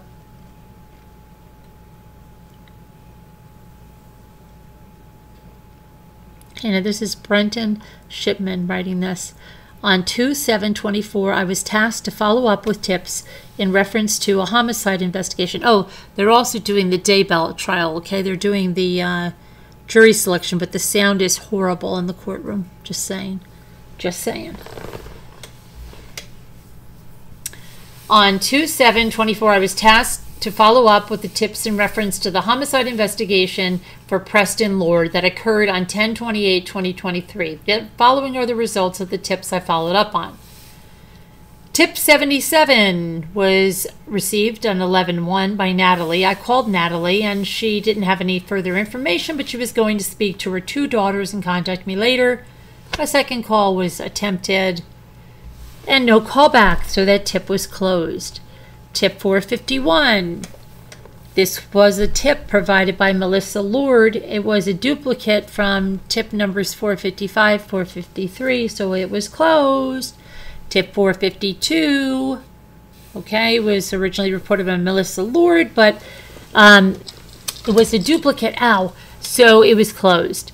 Then another one, Melissa Lord, it was a duplicate. Another tip by Jamie Herrera. I spoke to Jamie as he called the station while I was on duty. I completed a supplemental.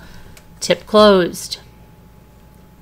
Original tip provided by Anonymous. Information was to contact Black Connolly with no specific information. Tip closed. This concludes my involvement for the above mentioned tips.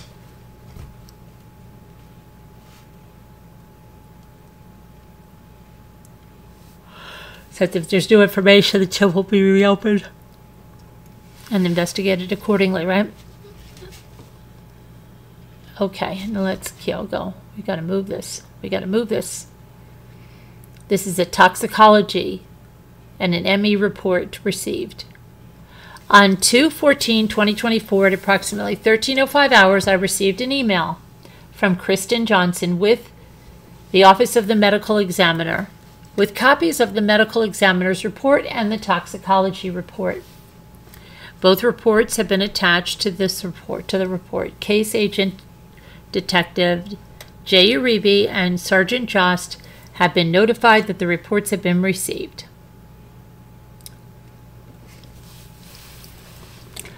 Okay, another scene walkthrough on February 7th of 2024.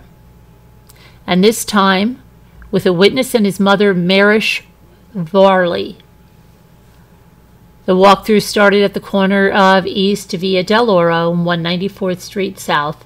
Stated that he had gone to the party with five other, six other people, had left the party early on. They arrived in a white GMC pickup truck that belonged to someone else and had parked in the cul-de-sac on East Via del Rancho, east of South 194th Street.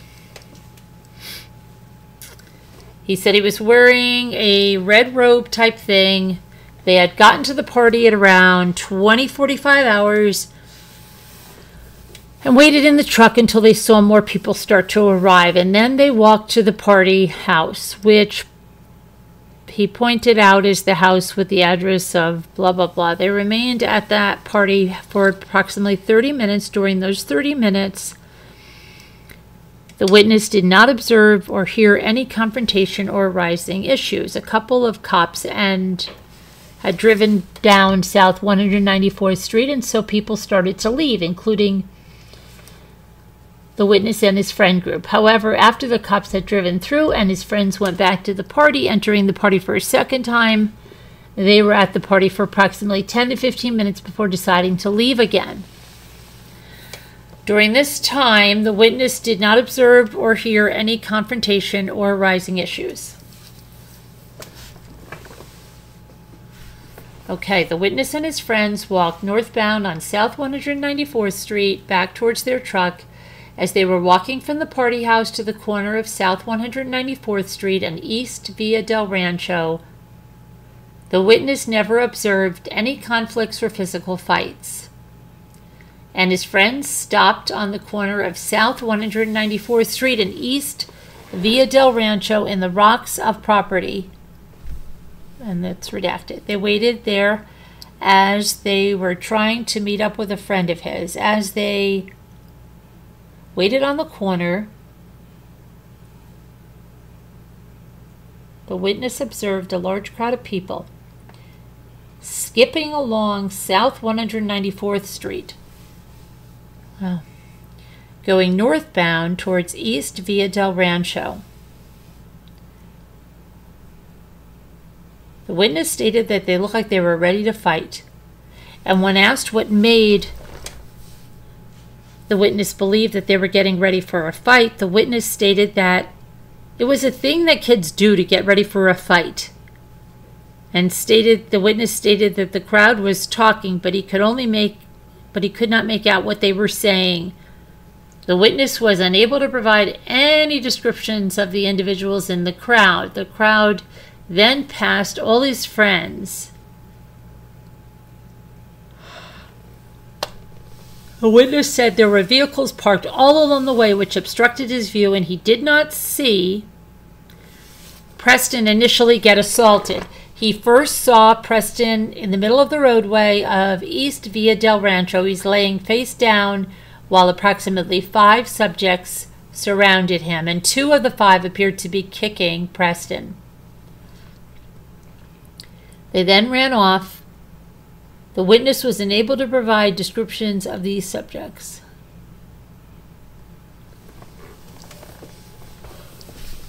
Okay. The witness and his friends approached Preston and noticed that he was unconscious. They placed Preston in the recovery position and made sure he was not choking.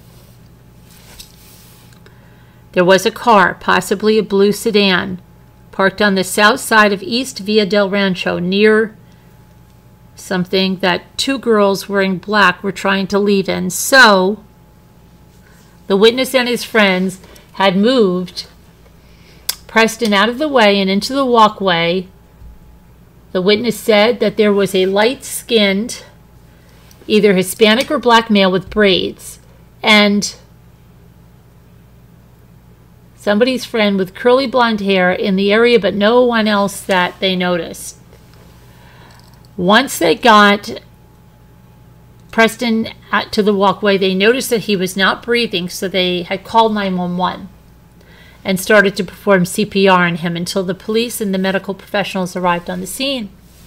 The witness stated he noted scratches to Preston's forehead and vomit coming from his nose, and that Preston had urinated on himself. Hi, little lady. The witness had nothing further to add, and this ended my contact with him and his mother.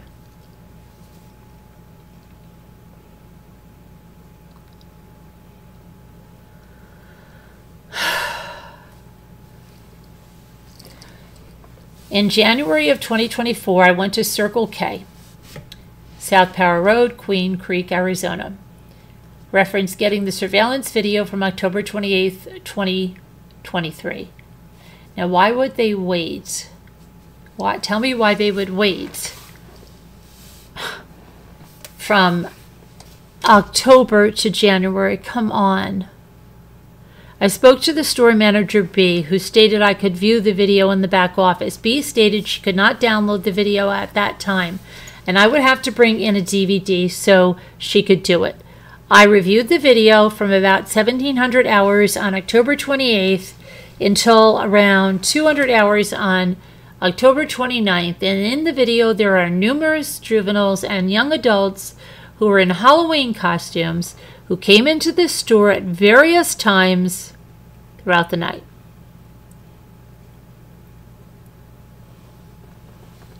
I did not notice anybody who resembled any of the subjects in the videos I had previously seen.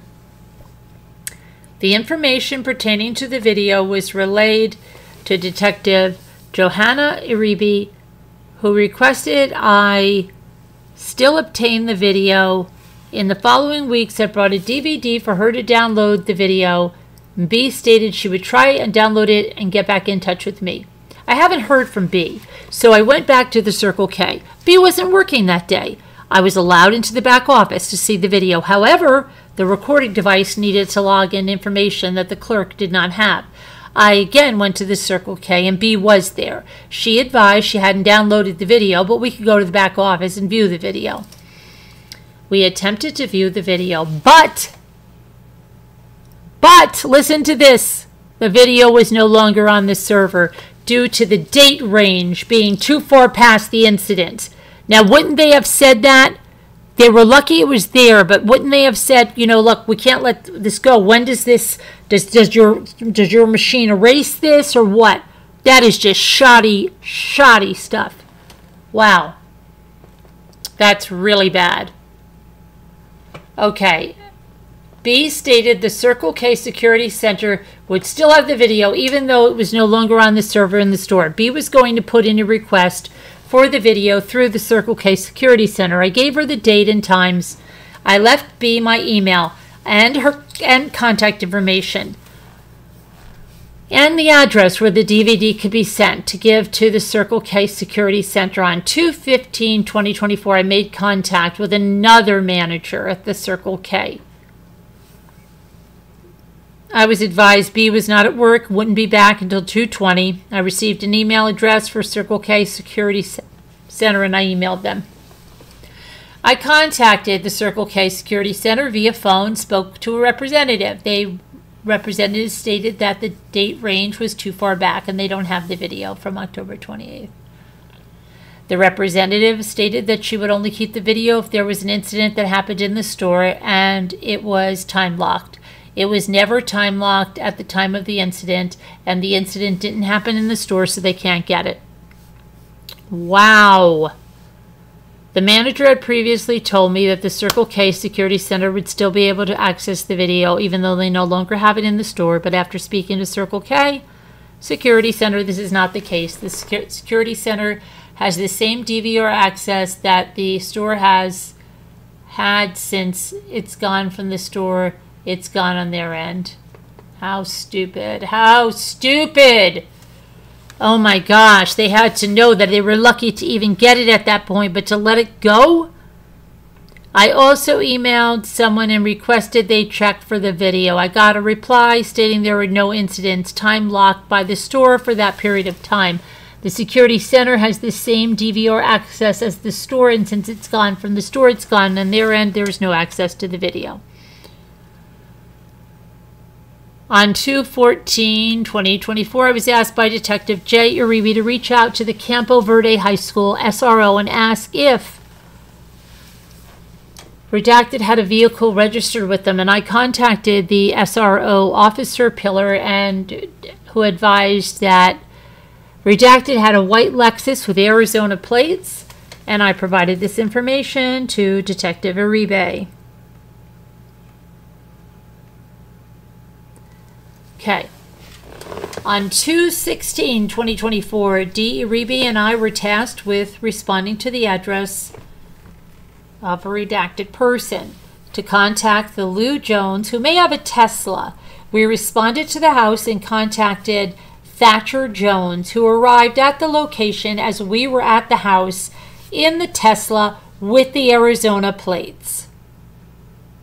We explained our reason for contact, and Thatcher state that Lou is his mother who does not drive the Tesla. The Tesla is driven either by Thatcher or his daughter. When asked if his daughter had gone to the party involving Redacted, Thatcher stated that she was not anywhere near that party and the Tesla was parked at the house.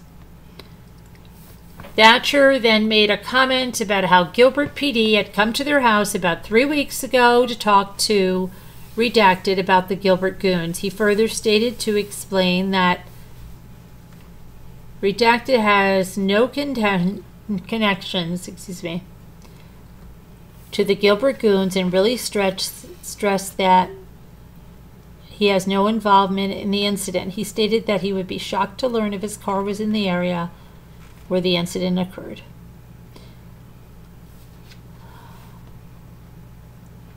When asked about the specifics regarding the Tesla, as the video it records, Thatcher stated that he is still learning how it works as he just got the vehicle about three months ago.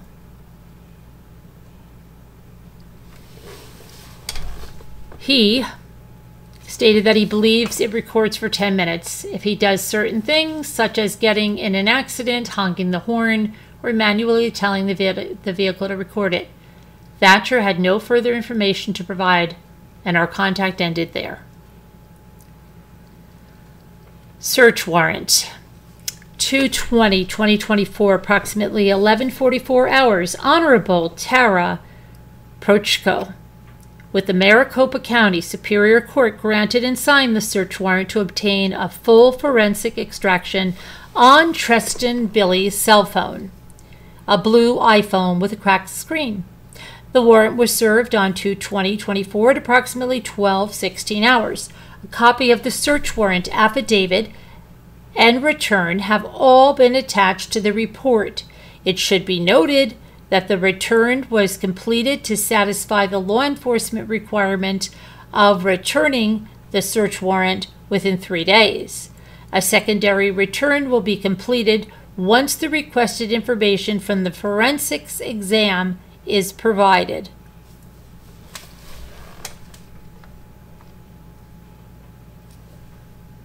Okay. This is from Jordan Klingensmith. On Monday, 226, 2024, I received an email response from T Mobile referencing Dominic Turner's call detail records. The findings from the T Mobile have been uploaded to evidence.com and a copy was sent to the FBI for further review. Nothing further at this time. Now we have Johanna Iribe. On 227 2024, I conducted a review of Extracted with GrayKey by the FBI. I noted the night prior, 1028 at about 12:52 a.m. shows the device in the area of redacted. However, there are other geolocations showing a different location. Okay, so this is just showing where um,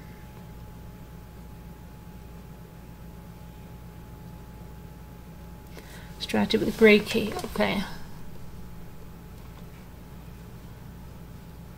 I noted location on 1028 at 8 p.m. to be in the area of 197th Street and East Via del Arboles. I noted at 921 Three total location data in this area. I noted 926, intersection of East Via Del Palo and 194th Street. And 952 Veterans Oasis Park, 952 Sossaman Road and Ocotillo Road, 953 Mansell's Carter Oasis Park consistent with Snapchat data for redacted interviews and surveillance required from redacted. And then 1041 near Avenida del Val and 157th Avenue. And then Bonanza Road and Claiborne Avenue. Okay, redacted communicates with mom on 1028 2023. We're going to Goodwill. This is consistent with a portion of the group going to Goodwill for costumes per interviews conducted. Redacted communicates with mom at 12:47 a.m. I know, but we just got home and there are about 20 guys out in the front. Do you want me to let them in? Mom, I don't care if they're here. I'm just asking because we're going to bed. You guys can have the house if you want. Mom sent a screenshot of social media related to something on 1031 2023 at 4:04 p.m. and they have a phone call 312 redacted to mom screenshot of list of names on 11-6-2023 at 12.57 p.m. Mom, there is an undercover cop car just sitting across from Jen Odel's house. It's been there for a while. Redacted. Really? Mom. Yep. Wondering if they are looking out for Talan. I think we need to call again. Redacted. Not yet. Mom. Why not? Redacted. I want to talk to lawyer first. Mom, that's if you're guilty for something.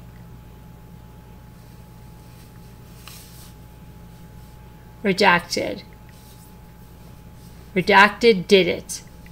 This was the day that QCPD conducted surveillance which led to executing search warrants at Jacob Meisner. Blank and Talan Renner's residence. It should be noted after this conversation, I found multiple Snapchat conversations between two redacted individuals. It appears a Kik Messenger thread was created on 1029 23 at 4:41 p.m. included and it's a bunch of react, redacted and then it only says writes did party die if responds nah why you say that N word fell off. TS. Watch the vid. Unknown what the context of this conversation was. Redacted communicates with Redacted on 1030 2023 at 8:40 p.m. Yeah, glad I'm not in post involved. How does he know? Do you know him? Another person. I have no clue. It's probably on the news, and I don't know him. Again, another one. Ah, true. Well, I'm glad I'm not involved. Another.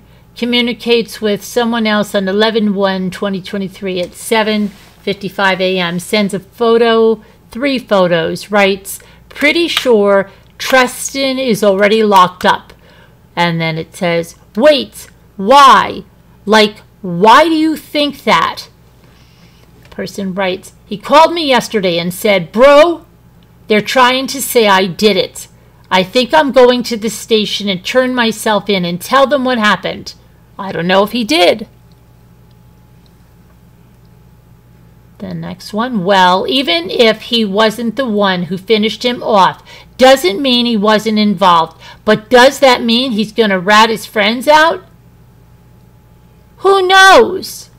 And sends a photo of the list of names got the person who posted this to take it down because now they're trying to say my name. And I air called the police and told them my side and sent that. You called the police when? You didn't tell me about that. Yesterday. What did you say? I got put on a list of people that jumped him when I didn't lay a hand nor see the fight. Maybe this is your sign to finally stop being around these kids. Instagram instant messages. Yo, unblock my number right now. Call via Instagram. Communicate with Tristan on 1031-2023 at 12:46 p.m. Yo. Call log. Tristan calls. Tristan. Answer the phone. Yo. I, I'ma tell my teacher I need to take a call. One second. Call log. Tristan calls. Yo, answer. Call log. Calls. Tristan. G. I. J need one photo of us. Gee, I deleted everything. I have like super old photos. On 10-31-2023 at 5.16, a screenshot of a Snapchat of Redacted with Possible Redacted where they discuss the names, the list of names disseminated via Snapchat. There's photos. I noticed multiple system messages through Snapchat where specific users left the group. This could possibly be related to the social studies group chat that I learned about during interviews. I communicated with Redacted via Snap. Redacted to redacted. All right, I'm so serious. I'd get a lawyer and start building cases to start suing people. Queen Creek Police are pressed ASF that people are posting this cap shite like the name list of names. Communicates with redacted redacted via Instagram. Nah, bro, I was pissing. I didn't even see the fight and I saw my name on the list. I air called the cops and talked to them and sent that. Source Snapchat group. They are discussing whether Tristan Billey was swatted and someone writes, Booyah! It is asked Mason Jostin why this person said Booyah and Redacted replies, me and Talan won't have people blaming us for it. Referencing redacted Snapchat records. Source Snapchat group EBK, where redacted writes, I need to borrow someone's poll for the time being. Responds, why? Writes, Q's crazy arse ex cousins were just posted outside my crib and tried chasing us in the cars. Redacted responds, let me call someone. Redacted writes, Redacted, what's the MMP? The message threads appear to be asking for a gun due to someone being outside his residence. Conversation with Redacted and Redacted, uh, 1028. It got shut down at 1155 on 1028. Photo created 1029 2023 1:15 a.m. shows subjects in the background at a residence and the following identifiable individuals: Jacob Meisner, one, two, three others, then Tristan Billey, and another redacted. Four images, multiple images of redacted and redacted between 137 and 141, and on 129. Screenshots of a text message to dad. Do you know that blank kid who got killed in the fight? Response with school. Dad, bunch of kids jumped him. Perry killed in the fight. Response. What fight? Dad, bunch of kids jumped him. Perry kids, Queen Creek kids, and other one other school beat a kid to death. Unknown time frame for actual messages, however, created 10:30, 2023 at 8:35 p.m. Images: a screenshot of a Snapchat post. Phone, uh, photo of a phone depicting Talon Vigil and Talan Renner. Screenshot of a social media post with Tristan Billey with caption, So you're 19 fighting a 16 year old a screenshot of social media posts with Tristan Billey's address, multiple photos of subjects involved in costumes, a subject, a screenshot of a Snapchat that shows the group social studies and Caroline, screenshot of something news, photo of two new iPhones in boxes from T-Mobile store. Multiple photos of subjects involved days after the incident hanging out together to include Tristan Billey. Photo including Tristan Billey, Mason Jostin, and unidentified person holding up hand signs. 11.1 Multiple searches for redacted. Reviewing installed applications. Kik, WhatsApp, Messenger, Telegram, Facebook, Discord, Life360, TikTok, native messages, and FaceTime. Okay, reviewing video. Video someone watching a Snapchat post of Tristan Billey. A clip of Tristan Billey. Multiple videos of subjects involved before and after. No relevant videos of the assault. Snapchat with redacted showing expired media. Snapchat with someone showed expired media. Instagram communication with someone but no messages. Snapchat convo with someone redacted. Snapchat communication with Mason Jots, Jostin. No messages or relevant information available. Okay.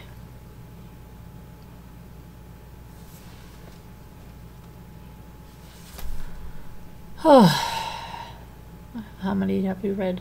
Only 154. Oh my gosh, why is it taking so long tonight? And you know what? I think tomorrow, tomorrow's Tuesday. I think I'm going to do an afternoon session of this. An afternoon session too, because like I'm falling asleep saying different words now. Okay. I received an email from Facebook Records indicating that the files I had requested for the Instagram account redacted are available. I downloaded the files, uploaded them to the evidence. I advised Detective Jay Iribe and reviewed the files. The following is the information provided by Facebook. Okay. So they're talking about followers. None of the followers associated to this account are involved in the case. No responsive records located and they show you that something that was sent 11 16 2023 yo boy finna get ard in prison no other messages of importance were observed device iphone 15 there was nothing else of importance in the documents provided narrative text andrew fernandez on 1028 2023 at approximately 2151 hours i was dispatched with my fto officer C. Anderson to a call referenced as an assault near East Via del Rancho, S. 194th Street. I was on a call for a service at 197th Street, E. Via de Palmas, when dispatch updated via radio that one of the victims was unconscious and one had a broken wrist. I activated my vehicle's emergency lights and sirens and proceeded to the incident. When I arrived on scene, I observed Officer Amanda performing chest compressions on an unconscious, shirtless white male, later identified as Preston Lord, right? Officer Rodriguez asked me to separate witnesses and began gathering statements. Okay, summary of an interview with one of the witnesses with the body worn camera. For exact verbiage, I contacted the person in front of an party, a house party via the Snapchat app. She stated the party was five houses down. People at the party called 911 to report the assault. Said one of her friends told her that someone got jumped and went to the front of the house to see what happened. When she arrived, she witnessed a male performing chest compressions on redacted redacted explained many of the people at the party were lifeguards and that they were taking turns providing aid until police arrived. She provided one of the males performing compressions with a big easy, a CPR rescue breathing mask to assist in their efforts to provide aid. She stated she did not see the assault and did not see the, anyone with or around the victim other than those rendering aid. This concludes my interview with Redacted. Summary of interview with another witness. Okay, I contacted another witness in front of Arizona. I asked to provide with the account of what happened. Said a bunch of kids started running and told him, Go this way. He saw redacted leaned up against the wheel of a black car in front of the house. The vehicle had left by that time. Police arrived and had been parked in front of the residence located at the same house. He and four other males moved Preston out of the road and closer to the sidewalk. Each person grabbed hold of one of the of one of Preston's limbs, and one person held his head. One grabbed one of his arms and they moved him to the location where the first responders found him upon arrival. The witness stated that he was a student at Combs High School and he heard about the party through his friends who provided the address. He heard that it was a high school party and that his friends did not know anyone at the party. The witness was driven to the party by someone who was also transported to others, a male named, and explained he was not close with blank, who was a grade older than him and played basketball at Combs High School and was in the car with him and his friends going to the party. He was unaware of any issues that the witness may have had with anyone at the school or that Preston may have had with anyone at the school and did not know who may have assaulted Preston. I asked the witness to sit with others prior to being picked up and taken home by a parent. This concludes my interview. After conducting my interview with this witness, I observed several juveniles running south on South 194th Street towards the crime scene. I contacted one of the juveniles who stated he witnessed the assault on Preston and came back to check on Preston and his friends. I asked the witness to detail what occurred. The witness explained he saw his old friend at the party. While talking to someone, an unidentified black male who knew someone approached and said he wanted to fight. The person said that that person did not want to fight and returned with a large group excuse me, did not want to fight, and the unidentified black male left. Moments later, the un unidentified black male returned with a large group and began antagonizing three people and approximately six other subjects who were with him. The witness said one of the people he was standing with began recording, and one of the subjects in the large group told the person he was with to stop recording. And they began to walk towards someone's truck. The large group followed someone and his group towards the truck. Someone from the large group grabbed the person who was recording and they took his gold chain and they began hitting him. The large group began hitting and everyone they were with. The witness ran away and moments later called someone on his cell phone. The witness said that someone told him that Preston was getting stomped out. Once the witness heard news from someone that Preston was knocked out, he decided to return to the scene. The witness stated that he was on the basketball team with someone at Combs High School. The witness explained that people were assaulted and they were from Hamilton High School. The witness's friend was allegedly in a disagreement with the unidentified black male over a female who was the cause of the incident. The witness said the person had no affiliation with anyone in from the group of Hamilton High School students, nor did he have any affiliation with two other people, and stated that I think it was Preston wasn't even involved, and said that person was just with me. The witness explained he arrived at the party in a truck with three other people who had friends they brought with them in the truck. The witness provided me with a Snapchat handle and did not have any other form of contact for someone. I gathered contact information for someone and his mother at 2228 hours. Okay, I transported to the Queen Creek, okay.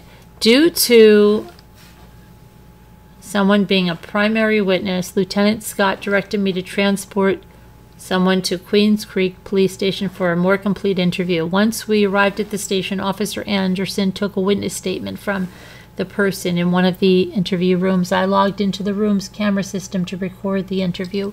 For complete details about this interview, refer to Officer Anderson's supplemental report. I remained with Officer Anderson and the person until the interview was concluded and the person was released to the to his sister outside of the station. This concludes my involvement in this case. NFL. Okay. Um,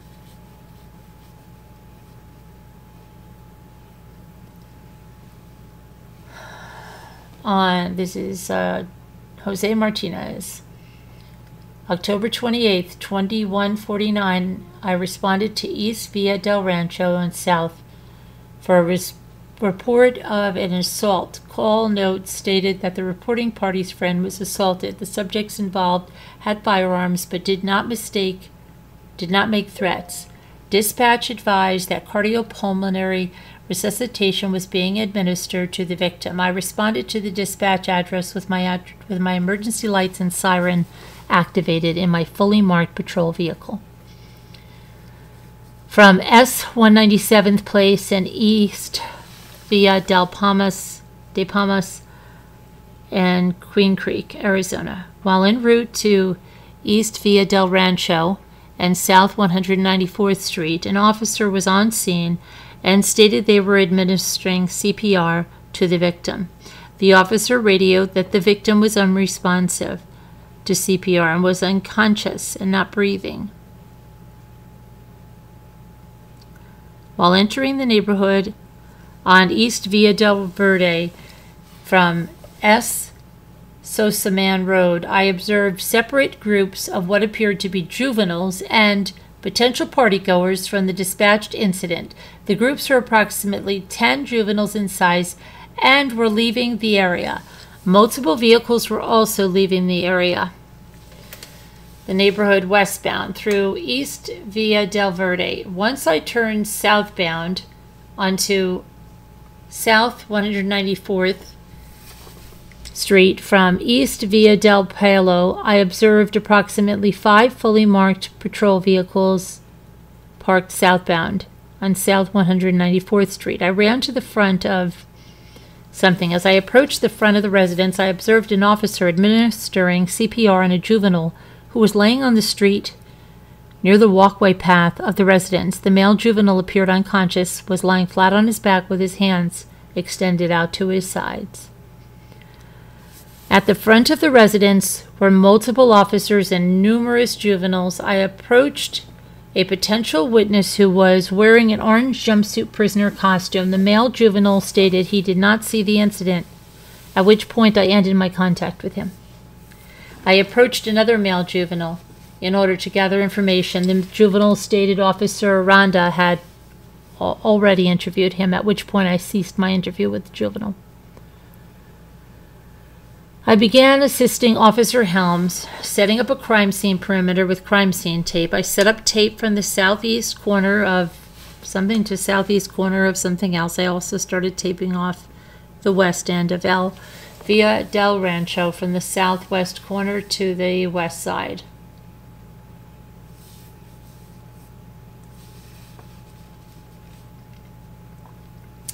Jacob Johnson. Okay, this is his report. On 10 28 2023, 2149 hours, I received a call regarding an assault. Call comment stated that a friend of the reporting party was assaulted and one person was unconscious and one had a broken wrist. CPR was reportedly in progress. It was an unconscious victim, later identified as blah blah blah. It was reported that there was approximately 15 suspects in the assault and all were wearing masks. Officer A. Rodriguez and OIT Aranda arrived on scene first. They advised there were several cars leaving at high rate of speed They next advised that they were doing compressions on the victim with no response. I arrived on scene shortly after and observed several juveniles, officers and Queen Creek fire personnel in front of something. As I approached, I noted that the officer Grossman and officer Eschenbaugh contact conducted life-saving measures with the Queen um, Creek Fire Department on Preston, while the walkway where the walkway to the front door meets the roadway on East Via del Rancho. His head was facing south with his feet facing the roadway. I noticed that was that he was wearing white colored Crocs which were removed by the fire personnel. I located another victim with a broken wrist, later identified as blah blah blah, 14 year old. He was hiding behind a truck. On the driver's side of the driver's door was open. He located um, located to the east of East Via del Rancho and South 194th Street. On the north side, approximately two houses east. Myself and Officer A. Rodriguez went to see what was going on with Redacted, and as we approached, it was apparent that he was injured as he was holding his right hand and scraped and had scraped knees and was bleeding. Redacted was very upset and seemed very scared of what happened. Redacted was on the phone with his father, whom Officer A. Rodriguez spoke with while I got the QCFD to medically evaluate the woman. As I got to the fire department over to evaluate myself through the dirt field, um, Officer A. Rodriguez and I contacted the juvenile and I looked back towards the scene and observed that Preston was being loaded into an ambulance. I returned to the scene and followed the ambulance to the hospital as they transported to Chandler Re- Regional Hospital located at 1955 West Frye Road. I remained at Chandler Regional Hospital and was able to locate information for Preston's parents, later identified as Autumn Lord the mother and Nicholas Lord the father. I was later advised the family was on the way to Chandler Regional. Once Autumn arrived, I met with her in the family room and confirmed her information and provided her some information about what occurred. Autumn asked if her son was alive, and I stated that he was being evaluated in the ER, but that he had a pulse. I did not provide any further information about this case or his medical condition because I was not sure of the developments in the case or the medical case. After a few hours at approximately midnight, I asked Dr. Joshua Zeidler for an update regarding Preston. He advised that his injuries were life threatening and it did not look good. I advised Detective Sergeant Jost about the update, and he advised that Detective J. Iribe was on the way to the hospital to assist along with Officer Shipman. While waiting for their arrival, medical staff brought Preston's family into a trauma room to see Preston. Preston's father, Nicholas, did not leave his side once he was in the room, Autumn only went in the room in short bursts of time, but did not remain in the room for long periods of time. Once Detective J. Iribe arrived on scene, she asked the ER nurse to get Preston's clothes. The nurse grabbed Preston's clothing, placed it in an orange bag, and handed the bag of clothing to me. Detective J. Iribe asked me to fill out the medical records release form for Preston's medical records and asked Nicholas to sign the consent form for the release. Nicholas agreed and signed the form.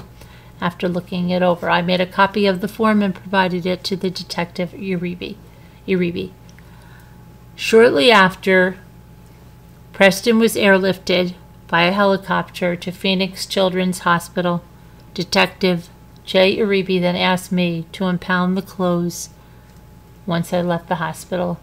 I returned to the the Queen Creek station where I impounded Preston's clothing, which included the following two white socks, one black hoodie jacket, one gray black shirt, one blue multicolored jersey, one pair of blue of black shorts, and one pair of multicolored underwear.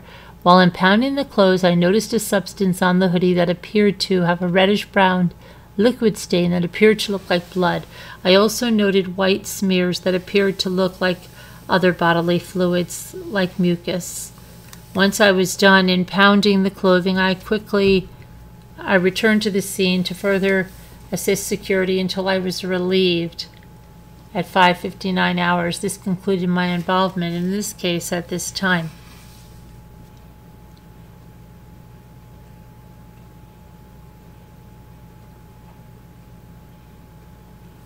Okay, this is Frank Grossman, and he's going to give his account on 1028. All right, so I'm not going to go over the same. They're dispatched to where the attack occurred, okay? After arriving at the dispatch location, I observed Officer A. Rodriguez performing chest compressions on an unresponsive male. I assisted Officer A. Rodriguez with chest compressions. Breaking a check for a male, male's pulse. Officer A. Rodriguez was relieved by Officer Eschenbaugh, who continued taking turns on chest compressions with me until we were relieved by, by the Queens uh, Creek Fire Department personnel. I assisted further by gathering contact information for involved parties previously interviewed by Officer Hanson with Officers Eschenbaugh. During the investigation, a male refused to provide the information to Officer Eschenbaugh. I assisted Officer Eschenbaugh in detaining the uncooperative male in handcuffs who later identified himself. I left the scene to handle other calls for service and returned to assist in the service of search warrant at uh, the detention center. I performed a sweep for additional people in the residence and detached garage with other officers at the scene announcing our presence and throughout the residence. We did not encounter any additional individuals in the residence and I left the scene. The supplement documents in my involvement with this case, please refer to the original narrative as well as any other supplemental narratives for narrative. Um, gosh, I was falling off again. For further information. We're almost to 100 pages. We got to do 100 pages. This is ridiculous. If we did 100 pages, we'd be for how many nights? Come on. take us 10, 11, 12 nights.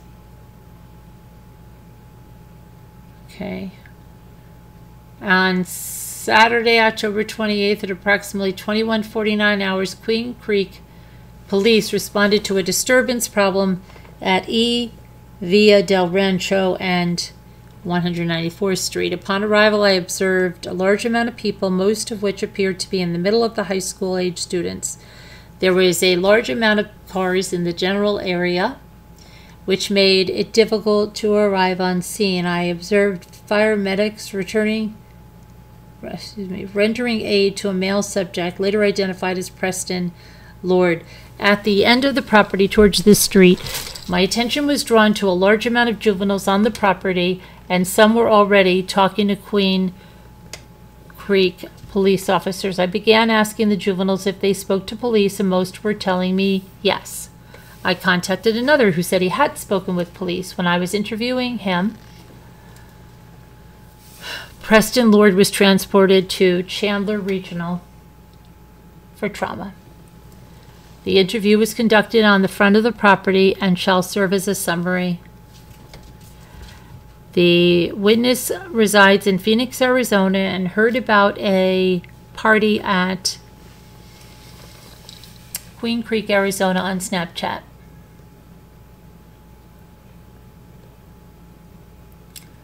Someone's friend picked him up at his residence and they went to the party at the residence and arrived at approximately 21:15 hours. The group were at the party for approximately 20 minutes and then followed everyone else out as they were told to leave. While walking down the street, The witness observed several people running over to an individual who was lying on the street. The witness recognized some of the people that were trying to help, that they were certified high school lifeguards that went to his school. The witness didn't witness any altercations at the residence prior to leaving. The witness only seen the victim on the ground, but never saw him get attacked and did not see him when he was standing on his feet at any time. There was no fighting or arguing at the residence when the, vic- the witness was there.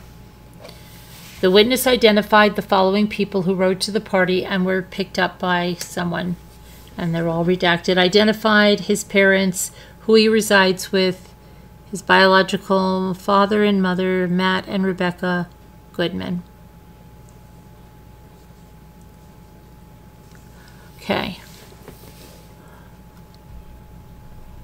After I interviewed the witness, I spoke briefly with witness and his father, Glenn Jones.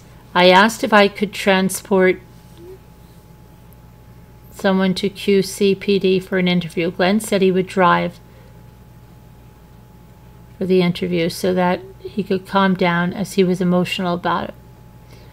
I arrived at the Queen Creek Police, and Glenn had already arrived at the police department. Before I could come and make contact in the lobby, I called Glenn, and he said he was on his way to Chandler Regional and was already at the police department, but nobody came, so they left. Glenn said if I wanted to speak to someone, then I need to go to Chandler Regional with Glenn being present during the interview. I contacted Detective Sergeant Joust and advised him of the situation and asked for permission to respond to Chandler Regional, which was granted. I called Glenn back and told him I would meet him at the hospital and conduct the interview there.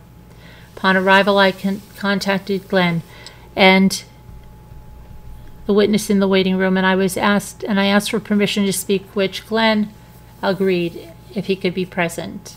The hospital was busy, so I was not able to secure a private room for the interview. I found the cafeteria area to be empty, so I escorted Glenn and the witness to that area where the interview was conducted.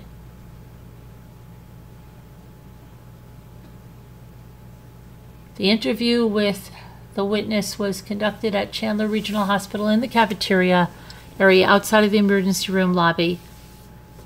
The witness's father, Glenn Jones, was present. The following is a summary.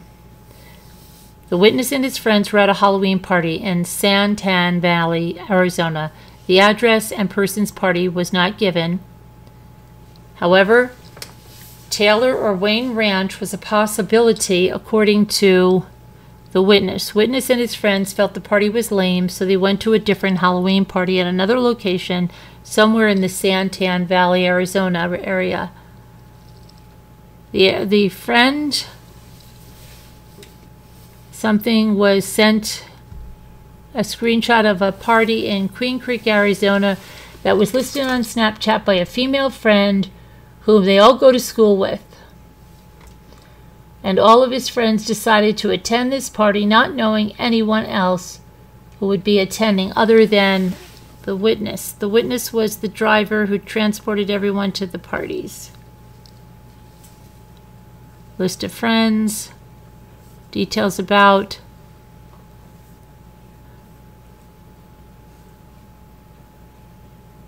person is a quiet and shy 17 year old senior at Combs High School in Queen Creek, a football and basketball player, and is liked by most of his peers. Spends his time playing video games when he isn't in school or playing sports, and is not a confrontational person and has never been in a fight. There was no verbal altercation or any type of physical altercation involving anyone at the party prior to him leaving and being attacked. Did the, this provoke anyone at the party and was extremely quiet as none of the group knew anyone at the party. Hold on a minute, I've got to get. Hi, Taco. Yeah, I'll be right there, Taco. I've got to get something to, to wake up a little bit. Hold on a minute. I'll be right there. Don't don't go anywhere. Because if I fall asleep, then I just start saying things.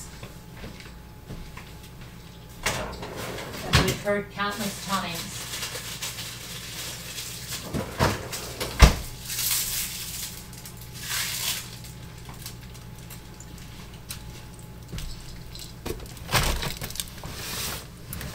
I'm gonna have a, an ice pop to see if it'll wake me up a little.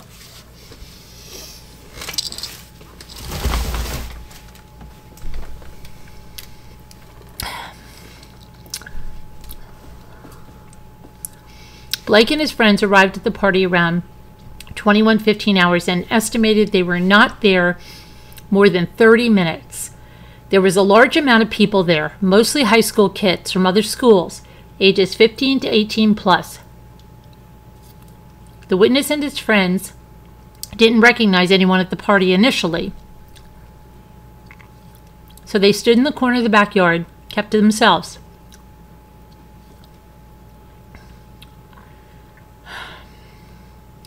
Someone was nowhere to be found at the party, but unknown if she was there. Someone estimated approximately 100 plus kids were at this party. Someone said while they were in the corner talking that there was a shorter Hispanic male subject that appeared to be at the party by himself and wasn't with any friends.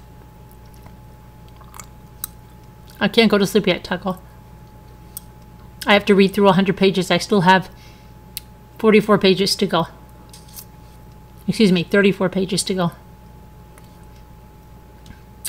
However, um, the individual said his name, but the witness couldn't recall. However, he identified that he was 15 years old and a freshman at Hamilton High School and attended the party when he seen the flyer on Snapchat.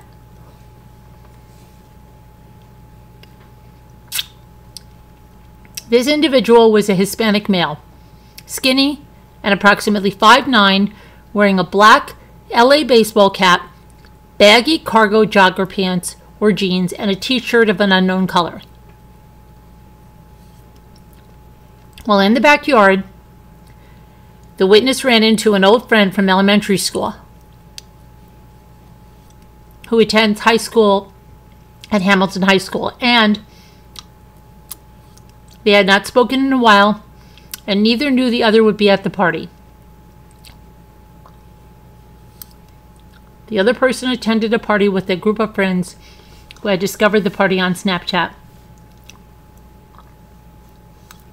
And they talked outside for less than 10 minutes before someone was confronted by a black male individual.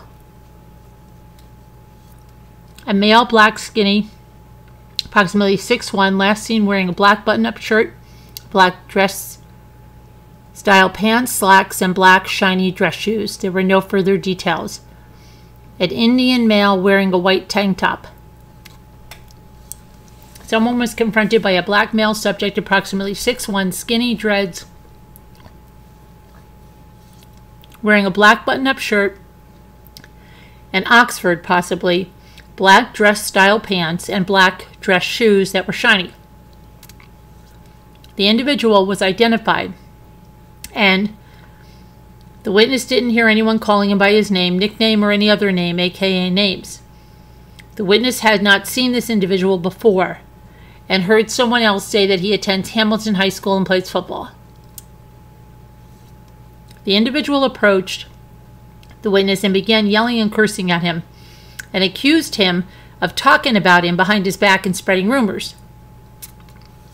The witness heard the yelling, but due to the amount of people standing around and, and chanting, he was unable to hear what specifically was said and exchanged other than something about a rumor. The person told the individual he wasn't spreading rumors, and the individual continued to yell and curse. The altercation was interrupted by the same Hispanic male who the person was talking to, who was 15 years old and a freshman at Hamilton High School, who began filming the argument on his cell phone. This individual was referred to as the filming guy. Filming guy description. Hispanic male, skinny, approximately 5'9", wearing a black LA baseball cap, baggy jogger pants or jeans, and a t shirt of an unknown color.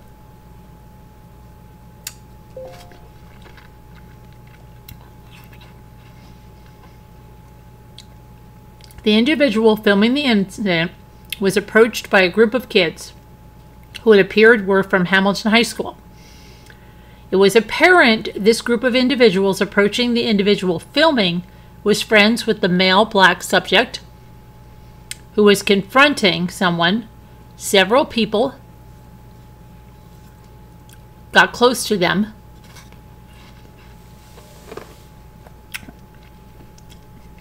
Got closer to the individual filming and told him to delete the video, which he deleted in front of them and was showing them his cell phone.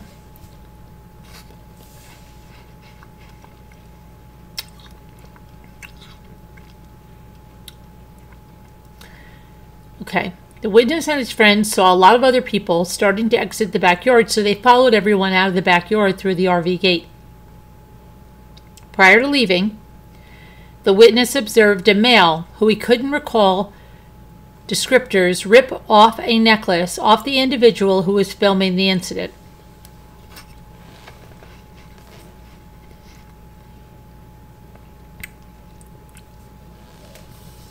The assault on Preston Lord in the street. The witness and his friends were on the street, South 194th Street, and were approaching East Via del Rancho the same group of kids who were yelling at the individual for filming the incident between the male, black, and redacted began following someone and his friends and were trying to start a fight. Person and his friends all separated and ran in different directions. And a person ran and his behind a house and was able to see a large group of people chasing his friends, and the witness watched Preston fall to the ground while he was running.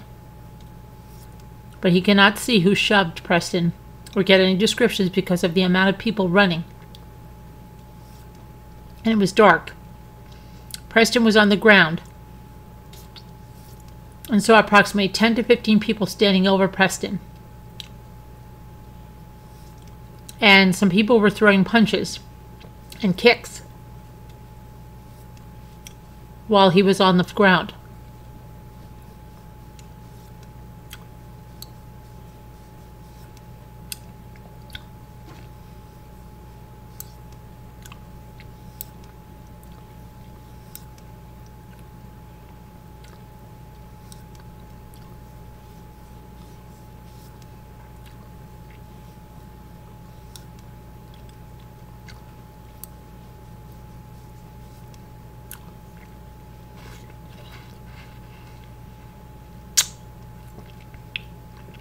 Sorry, hold on a minute. The witness described one individual in the group standing over Preston while he was on the ground as a Hispanic or Indian male wearing a black ski mask and a backpack. The witness didn't see this individual assaulting, but said he was standing with the group around Preston while he was on the ground. The witness didn't see the male black individual who confronted someone in the group, but assumed he was there as that group standing over Preston was the same group who stopped the filming. The witness didn't see someone or the individual who was filming the backyard altercation anywhere near the group standing over Preston. The witness said the assault and attack on Preston was less than a minute,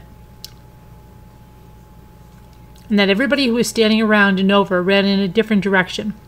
But most of the people left, going down South 194th Street. Someone ran down the street towards his truck, which was parked approximately 25 to 30 feet from where Preston was laying in the middle of the road on East Via del Rancho.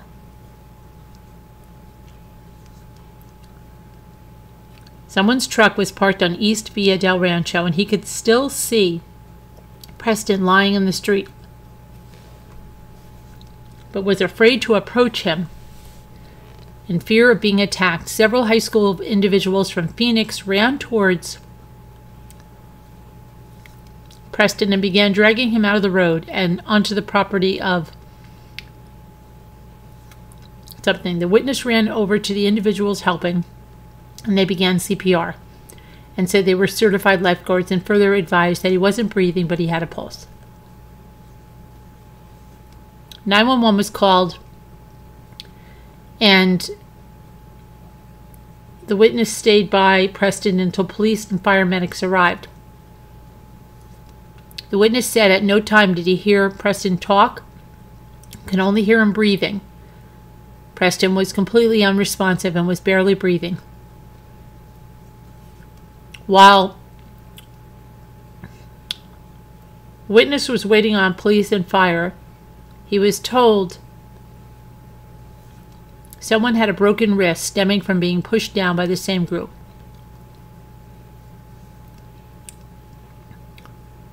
Some observations of someone waiting for the fire rescue. Someone was wearing Oklahoma City Thunder jersey with a white t shirt under, wearing only one white croc, missing the other, and wearing black athletic shorts.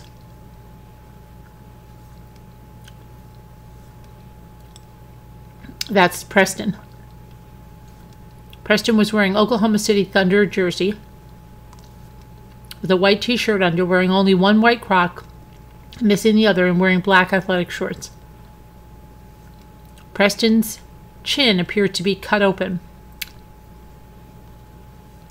and was bleeding heavily down his throat and neck. Cuts and scrapes were observed on both of Preston's hands and knees. The lower part of his legs. The witness didn't observe any other injuries or bleeding coming from anywhere else on Preston's body or face area.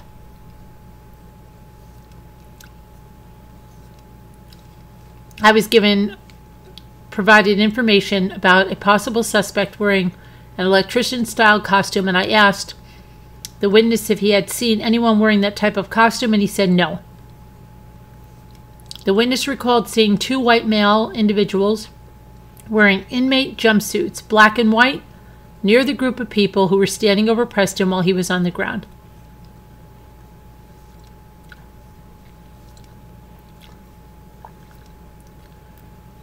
I asked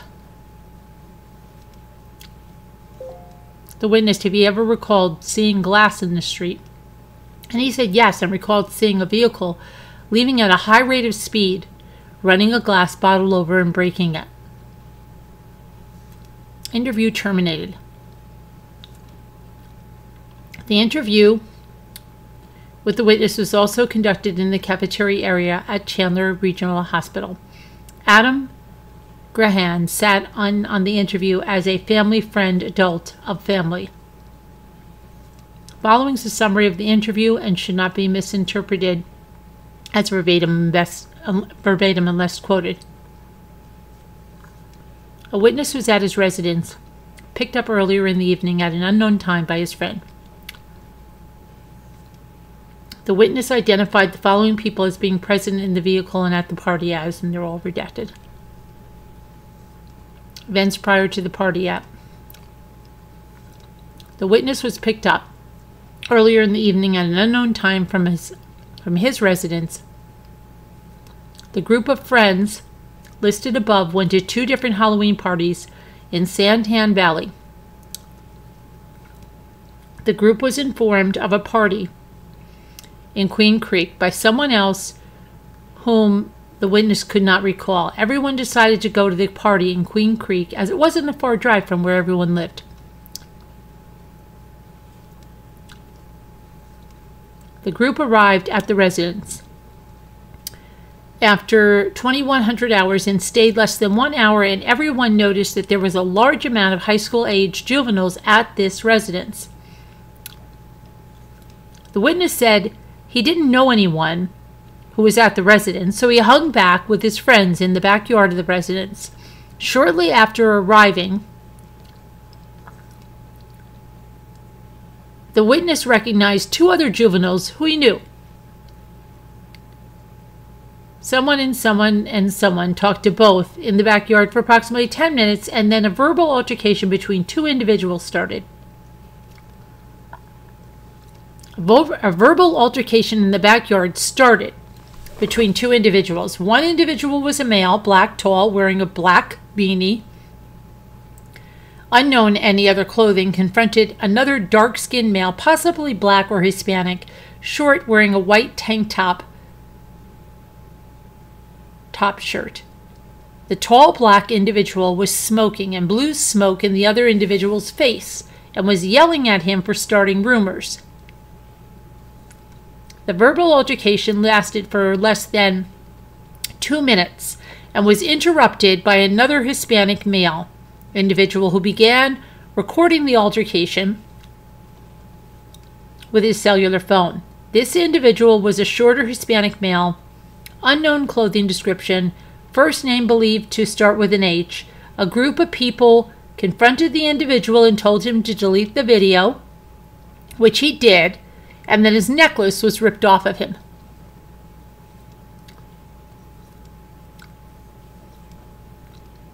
The individual who ripped the chain off was a stocky and shorter Hispanic male, wearing a white suit with white pants and dark colored pinstripes on the suit and a red t shirt under the white suit. The witness and his friends began to leave the backyard. After the verbal altercation, the group of people who made the individual filming the incident delete the video was now following that person and his friends and trying to get them to fight.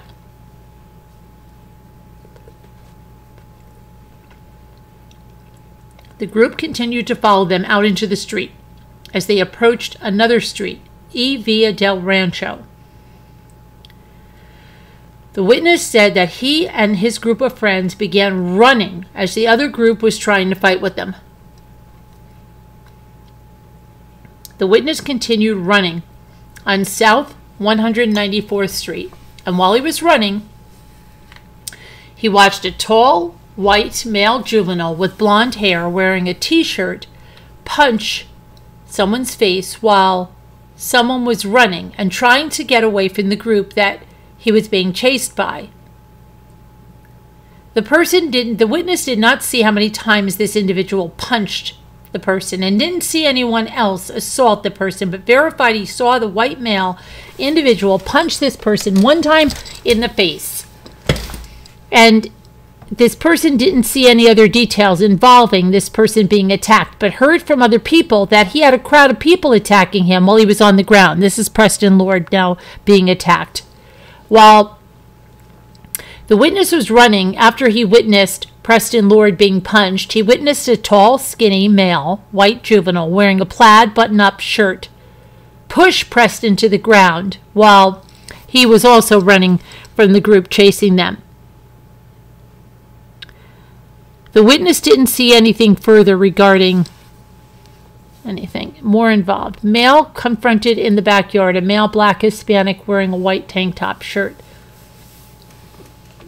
Individual confronting another male, a tall male black wearing a black beanie, unknown other clothing description. Filming individual, a shorter Hispanic male, unknown clothing description, name possibly starts with an H.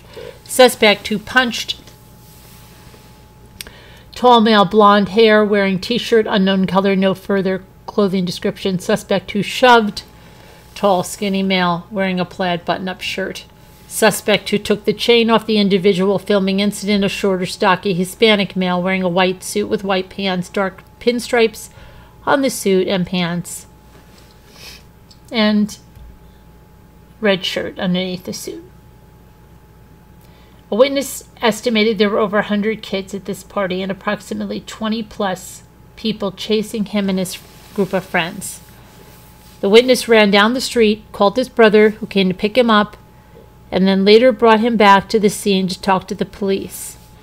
The witness saw broken glass in the street and heard a car run a glass bottle over that was leaving. The witness didn't see anyone dressed like an electrician, but did see several people dressed like construction workers in jail inmate costumes at the party. I spoke with Detective Sergeant Jost, Sergeant Muth, and Detectives Iribe, Driscoll, individually and briefed them of information relayed to me from the interviews. I responded back to the scene and met with Lieutenant Southwick, Detective Sergeant Jost. I was then tasked with conducting an interview with the parents at the residence. Interview with Roberto Carrera. Roberto is the homeowner at that residence. I made contact with him at the front door of his residence and I was invited into the residence. The interview with Roberto was conducted inside his residence, in his kitchen living room area. The following is a summary of the interview. Okay. Roberto Carrera, husband, Emily Carrera, wife, and the daughter, another daughter, Michaela Carrero, another daughter, another friends. Okay. Well, I guess the daughter had a get together with her friend planned for the night of 1028, Saturday.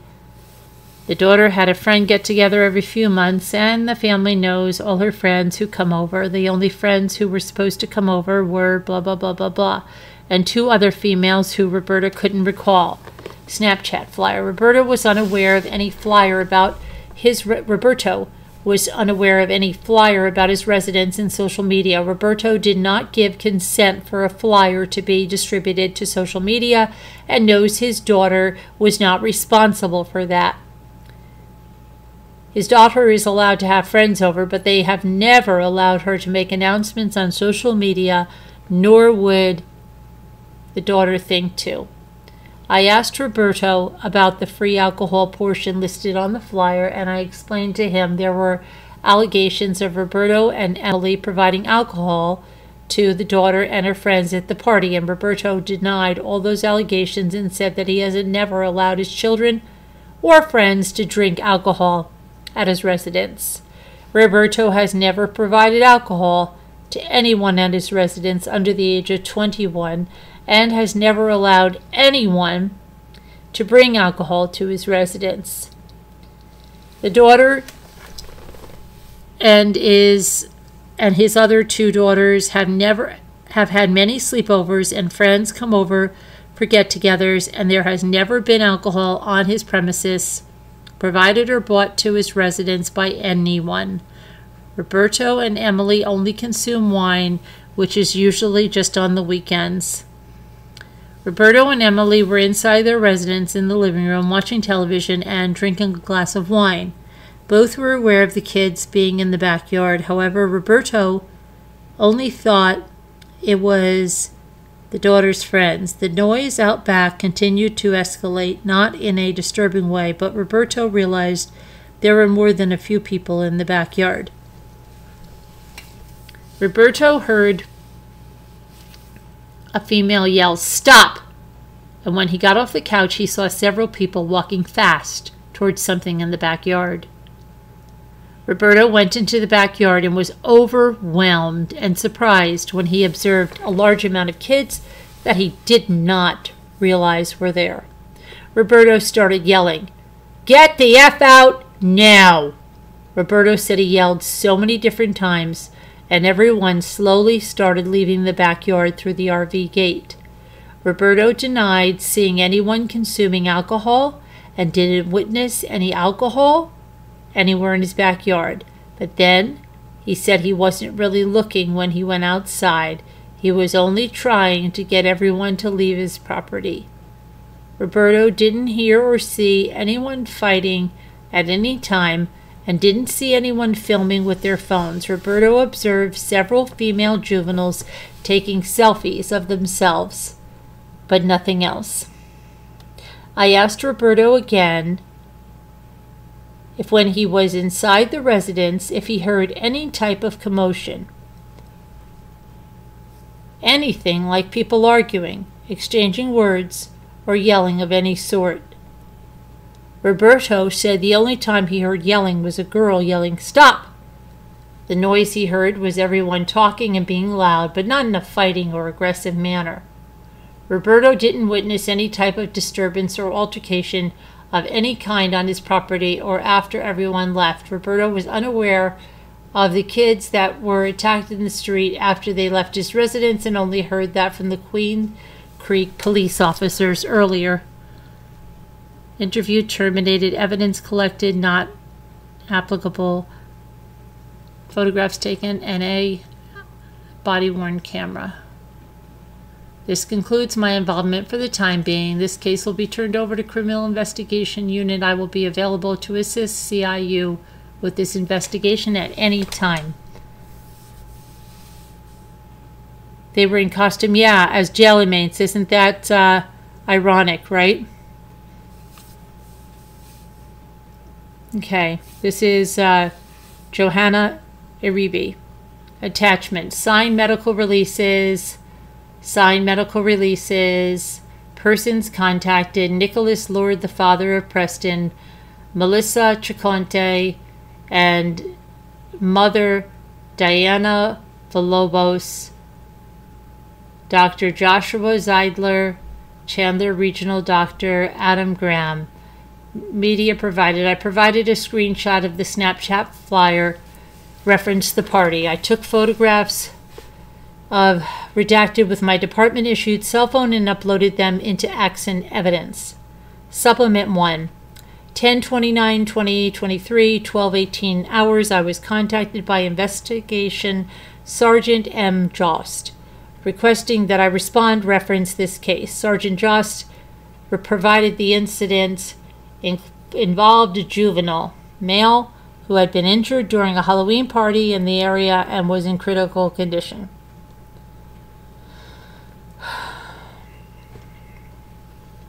Investigation day 1028 to 1029. Initial observations. Upon arrival at the scene, there was a large amount of police vehicles, patrol vehicles, and subject vehicles, and subjects within and outside the crime scene perimeter. Upon getting out of my vehicle, a female identified as Diana Villalobos approached me asking for assistance in locating her son. I learned her son, redacted, was a witness to the incident and had not been formally interviewed. I explained the situation and someone would contact her when she was able to pick up her son. I also informed her that she was able to stand by while we interviewed her son, and she stated she would wait nearby. I ended my contact with her. I waited for Sergeant Jost and Detective Lyons, Lyons to arrive on scene so the primary officer could provide the incident debrief. I conducted an initial scene walkthrough of the above listed location. Officer A. Rodriguez provided the debrief as follows. The primary incident location was identified as the roadway near redacted. A secondary incident was identified as a residence. The following is a su- summary and not verbatim. A party was hosted at a residence. Sometime during the party, a verbal argument had ensued. The homeowners of the residence kicked everyone out. The verbal argument had ensued. Uh, hold on a minute. The verbal argument was between groups which occurred in the backyard of the residence. During the verbal argument, a subject had begun recording the argument. At some point, it turned physical out in the roadway. First victim identified as Preston Lord, 16 years of age, was found unconscious. Some other subjects who attended the party began to provide life saving measures until law enforcement and emergency medical personnel arrived on scene. Initial information was provided, which that The victim had been struck in the head, fell to the ground, and went unresponsive. Subjects on the scene began to provide CPR. Once law enforcement arrived, officers provided five rounds of chest compressions. No pulse was acquired, and agonal breathing was reported. Emergency medical personnel took over care to Preston and were able to acquire a pulse. Preston was transported to Chandler Regional Medical Center where he was at the present time on a ventilator and still unresponsive. Officer J. Johnson and Officer Shipman responded to the hospital. Initial visible injury descriptions for Preston abrasion to the right side and blood to the right side. Initially located on his back, per witness interviews, abrasions to both knees. A second victim, identified as, was reported to have been shoved east of that victim during the physical fight and sustained a possible broken wrist. Initial visible injuries to that person visible injury to the right wrist, hand dangling and unable to move, abrasion and bleeding to the right to the left knee.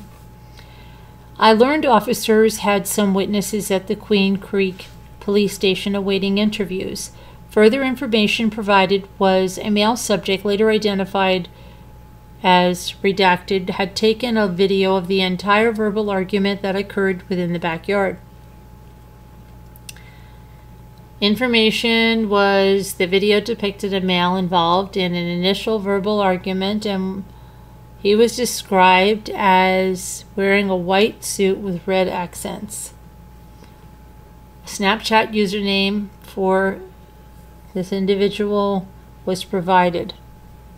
Scene walkthrough, only the primary location in front of something just at the front of the property near the paver was a walkway with medical supplies and debris.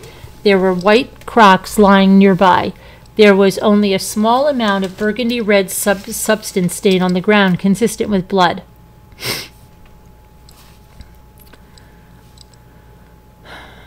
consistent with blood. I covered the stain with a folded paper to mark it temporarily until crime scene specialists arrived. In the front yard of the residence, officers had multiple subjects sitting down and waiting to be interviewed. Approximately 15 to 20 feet from where Preston was treated, there was a silver passenger car parked on the south side of the road, approximately one to two car lengths east of that vehicle. Was a dark passenger car also on the south side of the road, approximately two residents from where Preston was treated on the north side of the road was a dark colored truck with the bed open as well as the front door driver door between 194th Street and the dark colored truck in the middle of the roadway was evidence of broken bottles and initial scene walkthrough. Okay, this interview is a paraphrase summary. Physical description light medium skinned male and dark hair, undercut style about to his ears. The costume was an all black robe like the Scream ghost character and had a white ghost face mask said he found out about the party via Snapchat post. He was dropped off by his mother and was alone. He said he was going to meet friends. He had arrived about 2100 hours and was only on scene for a short period of time prior to the fight. He said he never made it into the party. He said his mother could not get out because there was a group of kids in the way.